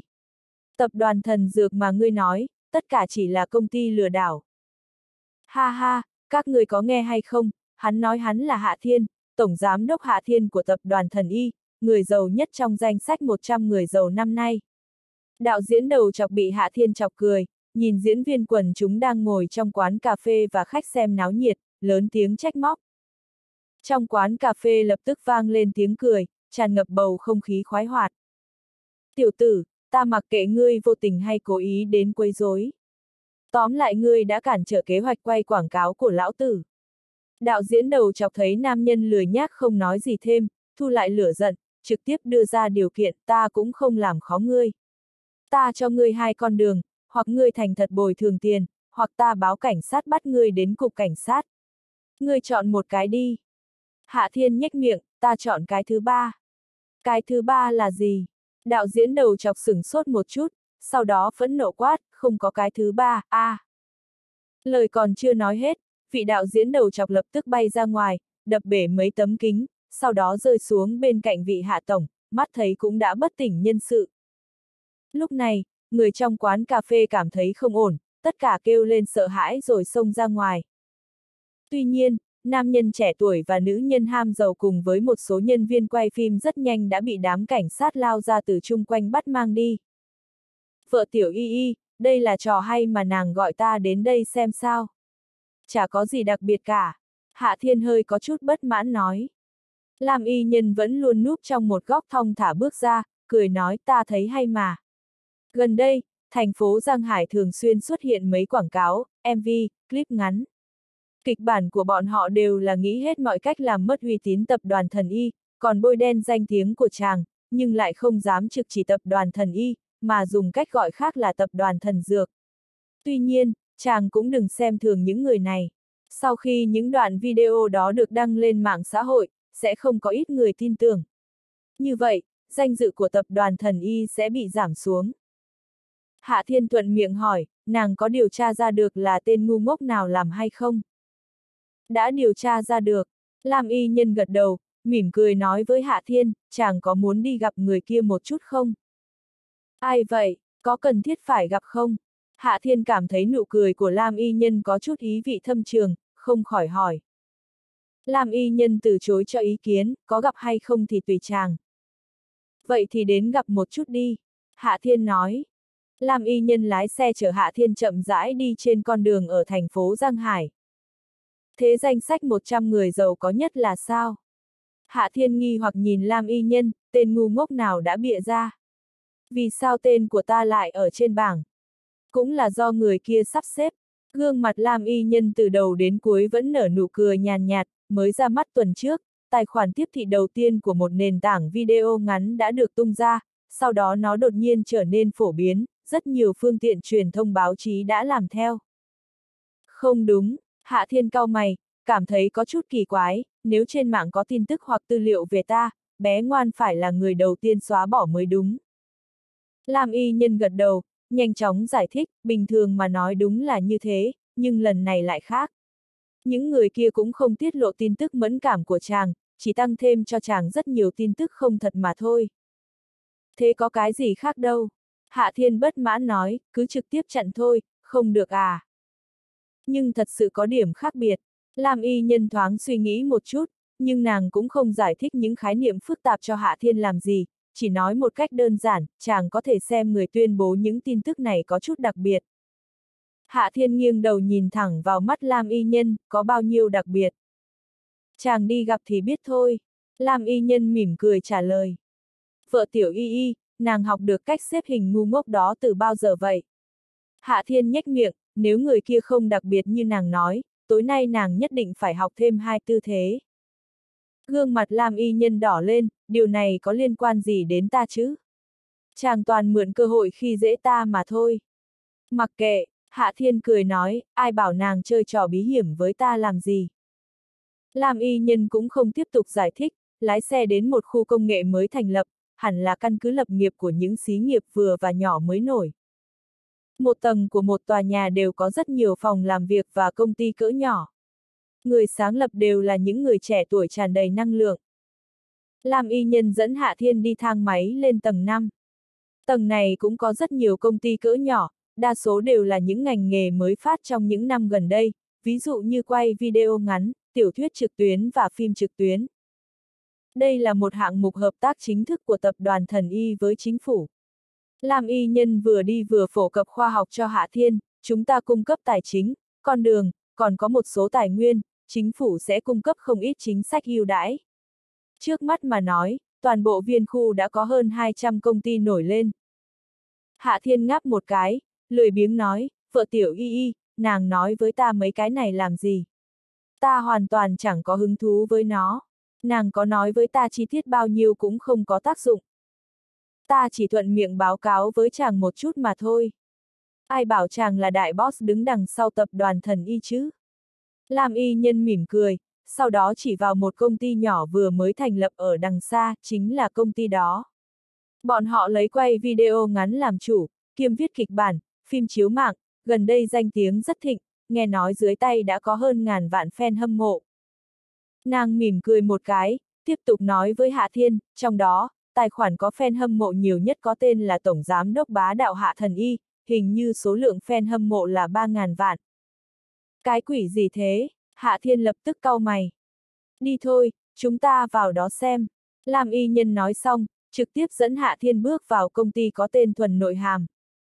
Công ty này có ba người sáng lập, đều là những nữ nhân trẻ tuổi xinh đẹp, nhân viên cũng chỉ có 5 người, vừa mới tốt nghiệp đại học, thậm chí có người còn chưa tốt nghiệp. Lúc này, công ty đang họp. Một thiếu nữ mặc váy xanh, gương mặt tràn đầy anh khí đang phát biểu. Gần đây thành tích của công ty chúng ta tăng trưởng nhanh chóng, nhưng vẫn chưa đủ. Thiếu nữ mặc váy xanh phóng khoáng chỉ vào những người tham gia cuộc họp, nói lớn, tâm lý sáng tạo của các người vẫn còn quá bảo thủ, rốt cuộc các người sợ chuyện gì. Mấy kịch bản gần đây đều không đủ mùi vị, nhất định phải là những đoạn video nói về sự thiển cẩn, vụng về và vô não, nếu không, ai sẽ xem chứ? Nếu muốn logic, muốn mặt mũi, muốn có kịch bản, xem phim truyền hình không phải tốt hơn sao? Nhưng cũng không thể không có logic được. Một thiếu nữ vẫn còn học năm thứ ba đại học vẫn còn có chút chướng ngại tâm lý, hơn nữa, tất cả kịch bản của chúng ta đều tập trung bôi đen tập đoàn thần y, còn có hạ thiên, có thể xảy ra chuyện hay không? Có thể xảy ra chuyện gì chứ? Thiếu nữ váy xanh khinh thường nói, tập đoàn thần y có danh tiếng rất tốt, hầu như không có bất kỳ tin tức tiêu cực nào, cho nên đánh giá tích cực rất không đáng tin cậy. Đây thật ra chính là một đầu gió. Chúng ta nói đến mặt trái của tập đoàn thần y, đương nhiên là mặt trái bịa đặt, hơn nữa còn là mặt trái không có não. Chỉ cần là người là có thể nhìn ra được chúng ta đang bôi đen. Đến một mức độ nào đó, ngược lại sẽ khiến cho những sự kiện chính diện có độ tin cậy cao hơn. Lúc này, lại có một nữ nhân viên có chút ngượng ngùng nói, ta chỉ sợ nếu chẳng may bôi đen quá nhiều, bị tập đoàn thần y kiện thì phải làm sao bây giờ. Yên tâm đi, sẽ không kiện đâu. Thiếu nữ mặc váy xanh rất tự tin, khoát tay nói, không nói trước tập đoàn thần y có để ý đến công ty nhỏ của chúng ta hay không, cho dù có để ý đến, cùng lắm cũng chỉ xóa video mà thôi, bọn họ sẽ không làm khó chúng ta. Các nữ nhân viên đều có chút không hiểu vì sao thiếu nữ váy xanh lại tự tin đến như vậy. Liễu Tổng, dựa vào đâu mà ngươi lại khẳng định như thế? Đúng vậy, ta nghe nói bộ phận pháp chế của tập đoàn thần y rất lợi hại. Đúng đúng đúng, nó còn được gọi là Giang Thành Pizza Hut. Ta nói không thì sẽ không.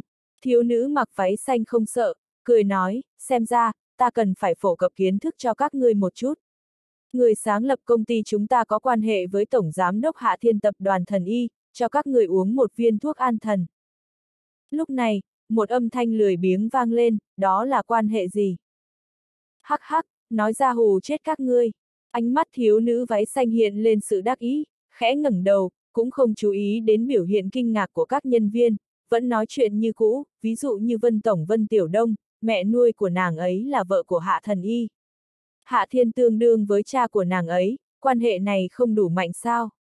Đừng nói Thạch Thuần Thạch Tổng, tỷ tỷ của nàng ấy cũng là vợ của Hạ Thần Y, chính bản thân nàng ấy còn lập chí muốn trở thành vợ nhỏ của Hạ Thiên. Cho nên, công ty chúng ta không cần kiêng kỵ. Dù sao, người muốn bôi đen tập đoàn thần y, bôi đen Hạ Thiên vẫn luôn tồn tại, vậy tại sao chúng ta lại không làm, lại đưa lợi ích lớn như thế cho người ngoài chứ? Một nữ nhân viên hiếu kỳ hỏi, mẹ nuôi Vân Tổng và tỷ tỷ Thạch Tổng chẳng lẽ là cùng một người? a à, người đoán đúng rồi. Thiếu nữ váy xanh nhẹ gật đầu, chính là cùng một người, tên là Vân Thanh, là đại luật sư, đại mỹ nhân nổi tiếng năm đó. Đáng tiếc tiện nghi cho tên sắc lang kia. Vậy ngươi có quan hệ gì với Hạ Thiên? Âm thanh lười biếng kia hỏi lại lần nữa. Thiếu nữ váy xanh giống như bị chạm đến điểm G, lập tức hứng thú hẳn lên, mỉm cười nói với các nhân viên, đó là đương nhiên rồi. Liễu hàm ta là ai chứ, chẳng những mánh khóe thông thiên, hơn nữa còn có bùa hộ thân không gì phá được. Tỷ tỷ của ta Liễu Vân Mạn, cô cô của ta là Liễu Mộng, đó cũng đều là. Đang nói, nàng bỗng nhiên ngừng lại, ánh mắt mở thật to, chán bắt đầu đổ mồ hôi. a à, ta mắc tiểu quá, ta đi trước một bước. Thiếu nữ mặc váy xanh biến sắc, cả người như thỏ chạy, nhấc chân vọt đến cửa sau phòng họp. Hôm nay ngươi đừng nói mắc tiểu, cho dù mẹ của ngươi chết, ngươi cũng phải thành thật ở lại cho ta. Thân ảnh hạ thiên lóe lên, đưa tay bắt được nàng, lạnh lùng nói. Thiếu nữ váy xanh quay lại nhìn hạ thiên, lập tức khóc lên, cái gì, mẹ của ta chết rồi. Hu hu hu, ta nhất định phải về nhà chịu tang, hẹn gặp lại. Chạy cái đầu ngươi đấy, thành thật ở lại cho ta đi. Hạ thiên hung hăng chừng mắt nhìn nàng, khó chịu nói, liễu hàm, gan của ngươi to lên không ít nhỉ. Liễu hàm quỳ xuống trước hạ thiên, không có, không có, gan của ta từ trước đến giờ rất nhỏ. Anh rể, chú rể, người tuyệt đối đừng làm ta sợ. Ta sẽ phát bệnh tim mà chết mất. Người cảm thấy trước mặt ta, người chết được sao? Hạ thiên nhếch miệng, hay là người thật sự muốn chết? a à, mà không chết được đâu. Liễu hàm nhớ đến hạ thiên chính là đệ nhất thần y trong thiên hạ, khởi tử hồi sinh chỉ là việc nhỏ, trực tiếp nằm ngửa, liễu hàm ta nằm ở đây, người muốn chém muốn giết muốn dóc thịt hay muốn làm gì cũng được. Nhưng người mở công ty là Thạch Thuần và Vân Tiểu Đông, ta chỉ bị hai người kia bức hiếp, không gia nhập không được, các nàng nói sẽ chơi chết ta. Hạ Thiên mỉm cười nhìn Liễu Hàm, vừa rồi ngươi dường như rất hưng phấn, tuyệt không giống như bị bức hiếp. Lúc này, làm y nhân vẫy tay ra hiệu người trong phòng ra ngoài hết, thuận tay xử lý cách âm luôn. a à, không phải, ta tuyệt đối không hưng phấn. Liễu Hàm từ dưới đất bò dậy, thề thốt với Hạ Thiên, anh rể, người cũng biết ta tôn kính người đến cỡ nào. Khi Thạch Thuần và Vân Tiểu Đông bước ta, ta vô cùng đau khổ. Sao bọn họ lại có thể nói xấu, phỉ báng anh rể thân yêu, chú rể kính yêu của ta được. Đây chính là mặt trời, là thần trong lòng ta. Hạ Thiên chừng mắt nhìn Liễu Hàm, người có tin nếu người còn nói nhảm thêm một câu nào, ta sẽ trực tiếp ném người bay ra khỏi cửa sổ hay không? Ai cha, được, ta sai rồi, ta nhận phạt. Liễu Hàm thấy tất cả thủ đoạn của mình đều vô dụng, đành phải từ bỏ chống cự, cung kính quỳ xuống, ta mặc cho ngươi xử trí, một câu cũng không oán hận. Hạ Thiên thản nhiên hỏi, công ty này là do ai sáng lập? Là Thạch, ừm, là ta. Liễu Hàm vốn đang định dội nước bẩn cho Thạch Thuần và Vân Tiểu Đông nhưng nhìn thấy ánh mắt của Hạ Thiên, đành phải nói thật, ta dự định ra nước ngoài du học, nhưng mẹ ta lại không cho ta tiền, ta nhất định phải lập nghiệp để kiếm ít tiền. Vừa lúc thời gian trước ta thấy trên mạng có người quay đoạn video bôi đen anh rể, fan hâm mộ không ít, kiếm lời được rất nhiều tiền. Ta cảm thấy đây cũng là một cơ hội kinh doanh. Dù sao lúc nào cũng có người bôi đen, vậy tại sao lại không để ta bôi đen? Bôi đen anh rể, ai chuyên nghiệp bằng ta? Hạ Thiên từ chối cho ý kiến vấn đề này, vậy tại sao ngươi lại kéo thuần nha đầu và Vân Tiểu Đông nhập bọn vậy? Đây không phải là điều hiển nhiên sao? Nếu một mình ta làm, bị ngươi biết được, còn không phải chết chắc à? Liễu Hàm cười hì hì, có chút giảo hoạt nói, ta muốn kéo thêm nhiều người nhập bọn, nhưng những người như y tỷ tỷ, làm tỷ tỷ nhất định là không được. Bọn họ đều là người của ngươi, ta không khống chế được. Vậy chỉ còn lại Thạch Thuần và Vân Tiểu Đông mà thôi. Vừa lúc tuổi tác của bọn họ lại không khác gì ta, bọn họ cũng sớm có tâm tư muốn bôi đen ngươi. Nghe nói bôi đen ngươi có thể kiếm tiền, ta gọi một cái là đồng ý ngay, thậm chí tên công ty, còn có đăng ký tài chính đều do hai người bọn họ gánh hết. Hạ Thiên hỏi thêm Liễu Hàm vài câu, trên cơ bản đã có thể xác nhận được một số chuyện. Anh rể, ngươi không giận ta chứ? Liễu Hàm đáng thương nhìn Hạ Thiên, cùng lắm thì ta đưa tiền kiếm được cho ngươi hết. Ngươi muốn kiếm tiền đúng không? Hạ Thiên nhếch miệng, nói với Lam Y Nhân, nàng tìm cho Hàm Nha đầu công việc tại một lò gạch. Khi nào khiêng gạch kiếm được 100 vạn thì thả con bé ra. Khiêng gạch, 100 vạn, Liễu Hàm bị dọa đến hỏng mất, anh rể, người muốn ta chết sao? Người nhẫn tâm nhìn hai bàn tay trắng nõn nà của đứa cháu gái này, đứa em vợ này dầm mưa dãi nắng khiêng gạch sao? Hạ Thiên trả lời, có sao đâu. Khi nào ngươi khiêng xong, ta đâm cho ngươi hai châm không phải sẽ khỏi à? Hai người kia đâu? Hạ Thiên nhìn trong mắt loạn chuyển của Liễu Hàm, thản nhiên hỏi. Ta làm sao biết, Liễu Hàm nghe Hạ Thiên tra hỏi, lập tức oán trách, hai người bọn họ chỉ coi ta như công cụ. Sau khi công ty thành lập xong thì mặc kệ, vung tay trưởng quỹ, để một mình ta bận trước bận sau, lên kịch bản, quay phim. Hạ Thiên lười biếng nói, người có vẻ vẫn còn rất ủy khuất. a à, Ta không có. Liễu Hàm cảm thấy không đúng, lập tức thay đổi thái độ, thật ra kịch bản như thế nào đều do bọn họ chuẩn bị, ta chỉ đứng trước sân khấu thôi. Anh rể, người có thể giúp ta đòi lại công đạo được không? Bọn họ không phải người, bọn họ bóc lột ta, nghiền ép ta một cách vô tình. Được rồi, đừng nói mấy câu dở hơi như thế này nữa. Hạ Thiên bó tay với nhà đầu này. 12 năm trước, con bé đã là đứa ham tiền. Nếu không có lợi ích bên trong, làm sao con bé có thể tích cực như vậy? Liễu Hàm lại biến thành bộ dạng chim cút, cười hì hì nói với Hạ Thiên, anh rể, ngươi là tỷ phu của ta, chúng ta còn có giao tình nhiều năm như vậy, không thì ngươi cho ta ít tiền, ta ra nước ngoài học, như vậy ta không bôi đen ngươi để kiếm tiền nữa. Im, muốn tiền thì tự mình đi kiếm. Hạ Thiên liếc mắt nhìn Liễu Hàm, hờ hững nói, ta và ngươi chẳng có giao tình gì hết. Nhà đầu ngươi trước kia còn muốn lừa ta. Liễu Hàm đáng thương nói, không đến lò gạch được không? Vậy ngươi muốn đến chỗ nào? Hạ Thiên thuận miệng hỏi. Cho ta đến tập đoàn thần y làm tổng giám đốc được không? Liễu Hàm há miệng nói, gương mặt tràn ngập hưng phấn, ta thấy Tô tỷ tỷ, còn có Lam tỷ tỷ làm việc vất vả quá, ta nghĩ ta có thể đảm nhiệm được. Dù sao, khi còn học đại học, ta cũng đã học qua quản lý tài chính chuyên nghiệp. Hơn nữa còn đọc rất nhiều truyền ký của các danh nhân, đánh máu gà cũng có một tay. Mặt Hạ Thiên vẫn không thay đổi. Nghe xong, hắn nói với Lam Y Nhân, tăng thêm cho nàng ta 200 vạn. Nếu khiêng gạch không đủ 200 vạn, chỗ nào cũng không cho phép nàng ta đi. Vâng, ta lập tức đi sắp xếp ngay. Lam Y Nhân nín cười, nhẹ gật đầu. Liễu Hàm giống như bị xét đánh, mặt giống như thiếu phụ bị oan, anh rể, người muốn giết người diệt khẩu sao? Ta diệt khẩu cái gì? Hạ Thiên nhếch miệng. Thật ra ta biết một bí mật. Liễu Hàm nháy mắt, mỉm cười nói, chỉ cần ngươi đừng bảo ta đi khiêng gạch, ta sẽ nói bí mật này cho ngươi biết. Hạ Thiên lắc đầu, không hứng thú. Này, tại sao ngươi không theo sáo lộ ra bài vậy? Liễu Hàm tức giận đến mức vào đầu, tay chỉ vào Hạ Thiên, ngươi nên cảm thấy hứng thú mới đúng chứ, bởi vì chuyện này liên quan đến an toàn cá nhân Vân Tiểu Đông, thậm chí còn có nguy cơ ảnh hưởng đến yên ổn hậu cung ngươi, cuối cùng tập đoàn thần y của ngươi sẽ sụp đổ. Tiểu nha đầu ngươi ngược lại học được không ít chữ nhỉ. Hạ Thiên vẫn hờ hứng, tuy nhiên, bí mật này, ngươi thích thì cứ nói, ta cũng không ép ngươi. Được, ngươi lợi hại. Liễu Hàm biết Hạ Thiên ăn chắc mình, đành phải chép miệng nhận sợ, ta nói còn không được sao. Dừng lại vài giây, Liễu Hàm suy nghĩ thật kỹ từ ngữ, sau đó nói, ta phát hiện gần đây Vân Tiểu Đông có chút kỳ quái, giống như đang tham gia một tổ chức nào đó. Tuy nhiên Đại học Giang Hải có rất nhiều câu lạc bộ kỳ quái, nhưng câu lạc bộ mà nàng ấy tham gia lại không giống. Có cái gì không giống? Hạ Thiên hỏi. Cụ thể ta không nói được. Liễu Hàm ngẩng đầu, suy nghĩ một chút, sau đó lắc đầu, nói tiếp, tuy nhiên, Thạch Thuần đã theo dõi nàng ấy, biết được một số tình huống, hình như Vân Tiểu Đông bái một ai đó làm sư phụ, sau đó muốn tu tiên thì phải. Lam y nhân nghe xong, không khỏi cau mày, tu tiên. Chẳng lẽ còn có tổ chức lừa đảo nào trà trộn vào Đại học Giang Hải sao? Câu lạc bộ đó rất bí mật, người bình thường không vào được.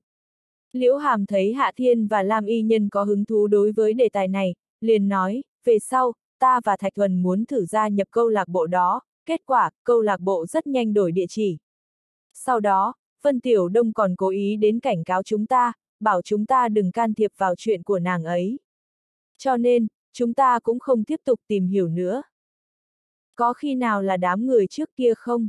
Lam y nhân lập tức nhớ đến chuyện Vân Tiểu Đông đã từng bị đánh lén, rất có thể bọn họ thay đổi sách lược, định tẩy não Vân Tiểu Đông. Hạ Thiên cũng không để trong lòng, có phải hay không, chúng ta đi tìm Vân Tiểu Đông hỏi không phải sẽ biết sao. Cũng đúng, Lam y nhân gật đầu, việc này chúng ta đã không để ý, đã hơi chủ quan rồi. Không liên quan gì đến mọi người. Hạ Thiên khoát tay với Lam y nhân, bất kể chú ý như thế nào, trong những nơi hẻo lánh không đáng chú ý chắc chắn sẽ có chuột và rán. Lam y nhân nói, ta thấy vẫn nên cho người âm thầm điều tra một chút hành tung và trạng thái, còn có trò chuyện của Vân Tiểu Đông trong thời gian này. Không cần đâu, Hạ Thiên trực tiếp bác bỏ đề nghị này, chúng ta đến Đại học Giang Hải tìm Tiểu Đông hỏi trực tiếp là được. Trong quan niệm của hắn, không cần thiết phải vì chút chuyện nhỏ mà ảnh hưởng hành động tự do của người bên cạnh, thậm chí áp đặt quyền lợi bình thường của bọn họ. Có vấn đề thì giải quyết vấn đề thôi. Vấn đề có thể giải quyết thì không còn là vấn đề. Không cần thiết bởi vì xuất hiện vấn đề mà phản ứng quá độ, sau đó dò xét người của mình, tạo thành hiểu lầm không đáng có. Đi thôi, làm y nhân tất nhiên không có ý kiến đối với quyết định của Hạ Thiên. Vậy còn chuyện khiêng gạch của ta? Liễu Hàm tỏ ra vẻ đáng thương, ôn nhu hỏi, có phải cứ tính như thế hay không? Hạ Thiên nhìn nàng một chút, được rồi, người không cần đi khiêng gạch nữa. a à, Liễu Hàm thở vào một hơi, cao hứng nói với Hạ Thiên, anh rể, vậy chuyện ta đến tập đoàn thần y làm tổng giám đốc có phải? Phải cái đầu ngươi đấy. Hạ Thiên quay sang nói với Lam Y Nhân, phân công nàng ấy đến tập đoàn thần y làm nhân viên quét dọn. Từ lầu một đến lầu cao nhất toàn bộ do nàng ta phụ trách. Quét không sạch, bắt quét lại từ đầu một lần nữa. Lam Y Nhân không thể nhịn được cười, được, để ta đi sắp xếp. a à, anh rể, Hạ Thiên, người không phải làm thật chứ? Liễu hàm thống khổ gãi đầu, người không phải người mà. Ta không phải chỉ bôi đen ngươi một chút thôi sao? Ngươi có cần phải hận như vậy không? Cao ốc thần y có bao nhiêu tầng chứ? Còn không bằng ta đi khiêng gạch nữa. Hạ thiên rời khỏi phòng họp, không rảnh nghe liễu hàm đứng đó kêu rên. Chấm. Lúc này, Đại học Giang Hải. Tại một tầng hầm vắng vẻ. Mười bồ đoàn đặt trên mặt đất, có sáu người đang ngồi, hơn nữa đều là nữ. Một người trong đó ngồi đối diện năm người còn lại, tuổi tác cũng lớn hơn một chút, hình như là lão sư trường học. Trong năm thiếu nữ ngồi đối diện nàng ta, có một người chính là Vân Tiểu Đông. Vân Tiểu Đông nhắm chặt hai mắt, hai đầu gối cuộn thành một chỗ, tay trái đặt lên đầu gối trái, tay phải bấm ấn đặt trước ngực. Không biết bọn họ đã ngồi bao lâu, chán Vân Tiểu Đông đã đổ mồ hôi, hô hấp theo thời gian có chút không thể khống chế, cuối cùng ho nhẹ hai tiếng, bất đắc dĩ mở mắt. Lúc này, bốn thiếu nữ khác cũng lần lượt mở mắt. Sư phụ, hình như ta lại thất bại nữa rồi. Biểu hiện của Vân Tiểu Đông hơi thất vọng, thở dài nói, xem ra, ta không có thiên phú tu tiên.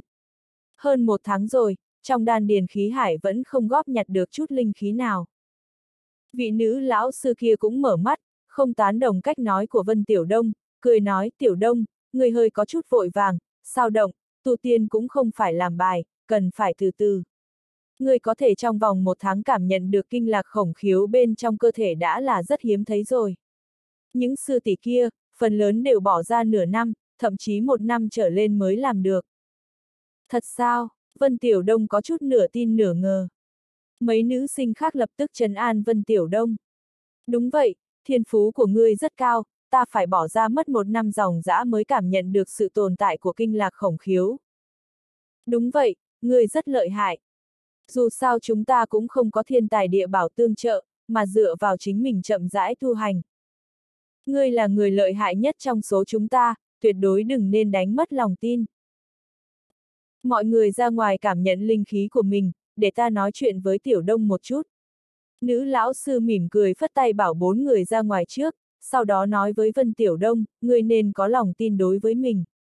Sư phụ cũng đã nhìn ra được, người dường như rất vội vàng, muốn trong một ngày đả thông khổng khiếu, hai ngày tạo thành đan điền khí hải, ba ngày trực tiếp luyện đến luyện khí kỳ. Nhưng tu tiên là chuyện nghịch thiên, sao có thể dễ dàng như thế? Vân Tiểu Đông hiển nhiên cũng hiểu được lời nói của sư phụ, nhưng nàng so sánh mình với Thạch Thuần, còn có Hạ Thiên, tất nhiên không thể nào tiếp nhận được tốc độ tu luyện như rùa của mình. Tuy nhiên, liên quan đến Hạ Thiên, nàng lại không cách nào nói với vị sư phụ trước mắt, cho nên chỉ có thể gấp đến độ đầu đổ đầy mồ hôi. Sư phụ, thật không có cách nào để ta mau chóng tiến vào luyện khí kỳ sao? Vân Tiểu Đông do dự một chút, sau đó hỏi. Nữ lão sư nhìn vào mắt Vân Tiểu Đông, qua một hồi lâu liền thở dài, thật ra cũng không phải là không có cách, chỉ là phải bỏ ra cái giá rất lớn, thậm chí ngươi sẽ chết, ngươi quyết định muốn thử sao? Thật sự có cách, Vân Tiểu Đông lập tức hỏi, sư phụ, người mau nói cho ta biết, ta quả thật rất muốn thử. Được, nữ lão sư thở dài, sau đó đứng lên đi ra ngoài. Khi quay lại, trong tay nàng ta cầm theo một cái hộp màu đen. Vân Tiểu Đông tò mò nhìn cái hộp, hỏi, sư phụ, người cầm cái gì thế? Đây là đan hộp dùng để cất đan dược. Nữ lão sư khoanh chân ngồi xuống, nghiêm chỉnh nói, tiểu đông, vi sư cũng không gạt ngươi. Thật ra vi sư là truyền nhân thứ 33 của huyền đan tông. Thế hệ tông phái chúng ta lấy luyện đan làm căn cơ tu tiên, chỉ là về sau thuật luyện đan thất truyền, cho nên môn phái mới dần dần suy bại. Đến bây giờ chỉ còn lại một hộp tụ khí đan cuối cùng. Ta vẫn muốn tìm truyền nhân thích hợp, quan sát thật lâu, cuối cùng ta đã lựa chọn ngươi. Cái này, Vân Tiểu Đông đứng im tại chỗ, nhất thời không biết nên nói cái gì. Ngươi đừng nghĩ đây là chiếm tiện nghi của vi sư. Biểu hiện của nữ lão sư vẫn trịnh trọng như cũ, ngươi cũng phải gánh vác một phần trách nhiệm. Chỉ cần ngươi nhận cái hộp này, về sau ngươi chính là truyền nhân thứ 34 của huyền đan tông, vai phải gánh trách nhiệm phục hưng huyền đan tông, đồng thời tiếp nhận đại hận của tông môn, ngươi có đồng ý không? Được rồi, không cần thiết phải liều lĩnh mạo hiểm như thế. Nữ lão sư khoát tay, thật ra nàng ta muốn nói chút tư sắc đó của ngươi hoàn toàn bất nhập lưu, làm sao Hạ Thiên có thể để ý được, nhưng nàng ta cũng không muốn đả kích lòng tin của người khác, đành phải nói các người đều là tinh anh trong tổ chức, sao có thể vì chút chuyện nhỏ như thế này mà mạo hiểm chứ? Liên quan đến nam nhân thần bí đó, ta sẽ sắp xếp người khác đi dò xét. Việc cấp bách bây giờ của mọi người là giám sát phân tiểu đông cho thật kỹ. Đương nhiên còn có Thạch Thuần và Liễu Hàm. Vâng, bốn thiếu nữ đồng thanh lên tiếng. Rất nhanh, năm người rời khỏi tầng hầm. Một lát sau, trên xà ngang tầng hầm vang lên giọng nói uể oải của Hạ Thiên, vợ tiểu y y, chỉ có mấy con tôm nhỏ này thôi sao? Đúng, tạm thời chỉ có mấy người này thôi. Lam y nhân đáp, đương nhiên, sau lưng bọn họ nhất định có người khác. Thiên đạo tổ vẫn còn đang điều tra. Chỉ toàn là mấy kẻ ngu ngốc, hoàn toàn không cần ta phải ra tay. Hạ thiên cảm giác có chút nhàm chán, thuần nha đầu đâu. Con bé không biết sao. Biểu hiện của Lam y nhân có chút mập mờ không rõ, ta cũng không biết nữa. Nếu con bé mà chơi, nhiều khi còn lợi hại hơn cả chàng. Cho dù phát hiện chân tướng của đám người này, con bé cũng sẽ không nói ra, giả bộ như bị lừa, sau đó từng bước một đùa chết bọn họ. Đi, chúng ta đi tìm thuần nha đầu. Hạ thiên lười biếng ngáp một cái, chỉ là mấy tên ngu ngốc, chẳng có gì vui. Đại học Giang Hải. Trong khoảng thời gian này, Thạch Thuần cảm thấy khá nhàm chán, cho nên đã chạy đến đây làm lão sư. Đối với chuyện trở thành lão sư, Thạch Thuần cũng chẳng có suy nghĩ gì, chỉ là muốn tìm một số chuyện để làm mà thôi. Về phần tại sao không gia nhập tập đoàn thần y, thật lòng Thạch Thuần không muốn. Nàng đã sớm có dự định trở thành vợ tương lai của Hạ Thiên. Nếu còn đến tập đoàn thần y làm việc, vậy thì quá thảm rồi. Chẳng những phải kính dâng cơ thể cho tên cặn bã nam kia, lại còn phải liều mạng kiếm tiền cho hắn. Không thể để cho tên anh rể sắc lang kia chiếm hết tiện nghi. Thạch thuần âm thầm thề thốt, có đánh chết nàng cũng không đến tập đoàn thần y làm việc. Nàng muốn làm chuyện nàng muốn làm, mặc dù bây giờ nàng còn chưa nghĩ ra nàng muốn làm cái gì. Đang trong lúc Thạch Thuần ngẩn ra, từ đằng xa vang lên một tiếng kêu, thuần thuần, bên này nè. Thạch Thuần nghe được tiếng gọi, vô thức đưa mắt nhìn sang, tiếp theo nhếch miệng, hai, lại một tên ngu ngốc đến. Đằng xa có người bày hoa rất nhiều. Mấy ngày bó hoa hồng trải dài từ cổng trường đại học đến bãi cỏ, tạo thành hình một trái tim thật lớn. Cảnh tượng này đương nhiên thu hút rất nhiều sinh viên và lão sư chú ý. Lại có người đến tấn công thạch giao hoa chúng ta nữa rồi. Cái gì giáo hoa, người ta là lão sư. Cho dù nàng là hiệu trưởng thì cũng là giáo hoa, thật sự quá đẹp mà. Cũng đúng, hoàn toàn không thua kém gì Kiều Tiểu Kiều năm đó. Lại có thêm một kẻ mắt không tròng, muốn đá vào tảng đá. Đây là lần thứ bảy trong tháng rồi, mị lực của thạch lão sư đúng là vô địch. Lúc này, một nam nhân cao lớn anh Tuấn mặc một bộ trang phục chính thức, chậm rãi bước vào chính giữa trái tim hoa hồng. Trong tay hắn ta còn cầm một bó hoa, chính giữa bó hoa là một chiếc nhẫn kim cương thật lớn, thâm tình kêu lên, Thạch Thuần, ta yêu nàng. Nàng có nguyện ý làm bạn gái của ta không? Không. Thạch Thuần còn chưa lên tiếng, một âm thanh lười biếng đã ngắt lời hắn ta, bây giờ ngươi biến đi còn kịp, nếu không, ta đánh ngươi đấy. Ngươi là ai? Đại soái ca đưa mắt nhìn sang, phát hiện chỉ là một nam nhân bình thường đồng trang lứa, không khỏi giận dữ, ngươi đừng có ở đây quấy rối ta. Nếu không, đừng trách ta không khách sáo. Người đến đương nhiên là Hạ Thiên. Hắn chậm rãi rút một cây hoa hồng, kéo nhụy hoa bỏ vào trong miệng nhai nhai một chút, hương hoa đúng là phế vật, nói rõ ngươi không hề thành tâm. Ngươi nên từ bỏ đi, đừng tự tìm cái không vui. Thuần nha đầu nhìn cũng sẽ không nhìn ngươi đâu. Ha ha, ngươi nói đúng là buồn cười. Cao đại soái ca có chút hiếu kỳ đánh giá hạ thiên, ta theo đuổi thạch thuần mắc mớ gì đến ngươi. Ngươi có tư cách gì mà nói những lời này? Hạ thiên lười biếng đáp lại, ta có tư cách hay không liên quan gì đến ngươi. Tóm lại, nhân lúc ta còn chưa tức giận, ngươi mau biến đi. Ngươi đúng là khó hiểu. Cao đại soái ca hơi tức giận, vẫy tay với bạn của mình, các ngươi mau bắt hắn lại cho ta, đừng làm chậm trễ chuyện lớn của ta. Đồng bạn của hắn bừng tỉnh, cùng tiến lên vây quanh Hạ Thiên, muốn kéo hắn đi. Đáng tiếc, bảy tám người cũng không kéo được Hạ Thiên. Các ngươi đang làm gì thế? Cao đại soái ca nhìn thấy cảnh tượng này, cảm giác có chút buồn cười, kéo không được thì khiêng, đừng ở đây chướng mắt nữa. Người chướng mắt là ngươi đấy. Hạ thiên thoáng dẫy dụa một cái, lập tức chấn ngã bảy tám người. Hắn chậm rãi bước đến trước mặt cao đại soái ca, người có phải cảm thấy mình rất có hy vọng hay không? Đương nhiên rồi, cao đại soái ca ngạo nghễ nói, ta và Thạch Thuần là bạn học thời đại học, có giao tình 4-5 năm, huống chi ta đã từng ăn cơm, uống rượu với nàng ấy. Điều này nói rõ nàng ấy cũng có ý với ta. Theo đuổi nàng ấy chỉ là thuận theo ý nguyện của bản thân nàng ấy, là chuyện nước chảy thành sông. Ngươi thì tính là gì chứ, cũng xứng đến ngăn cản tình duyên trời sinh của chúng ta. Audio điện tử võ tấn bền. Hết tập 161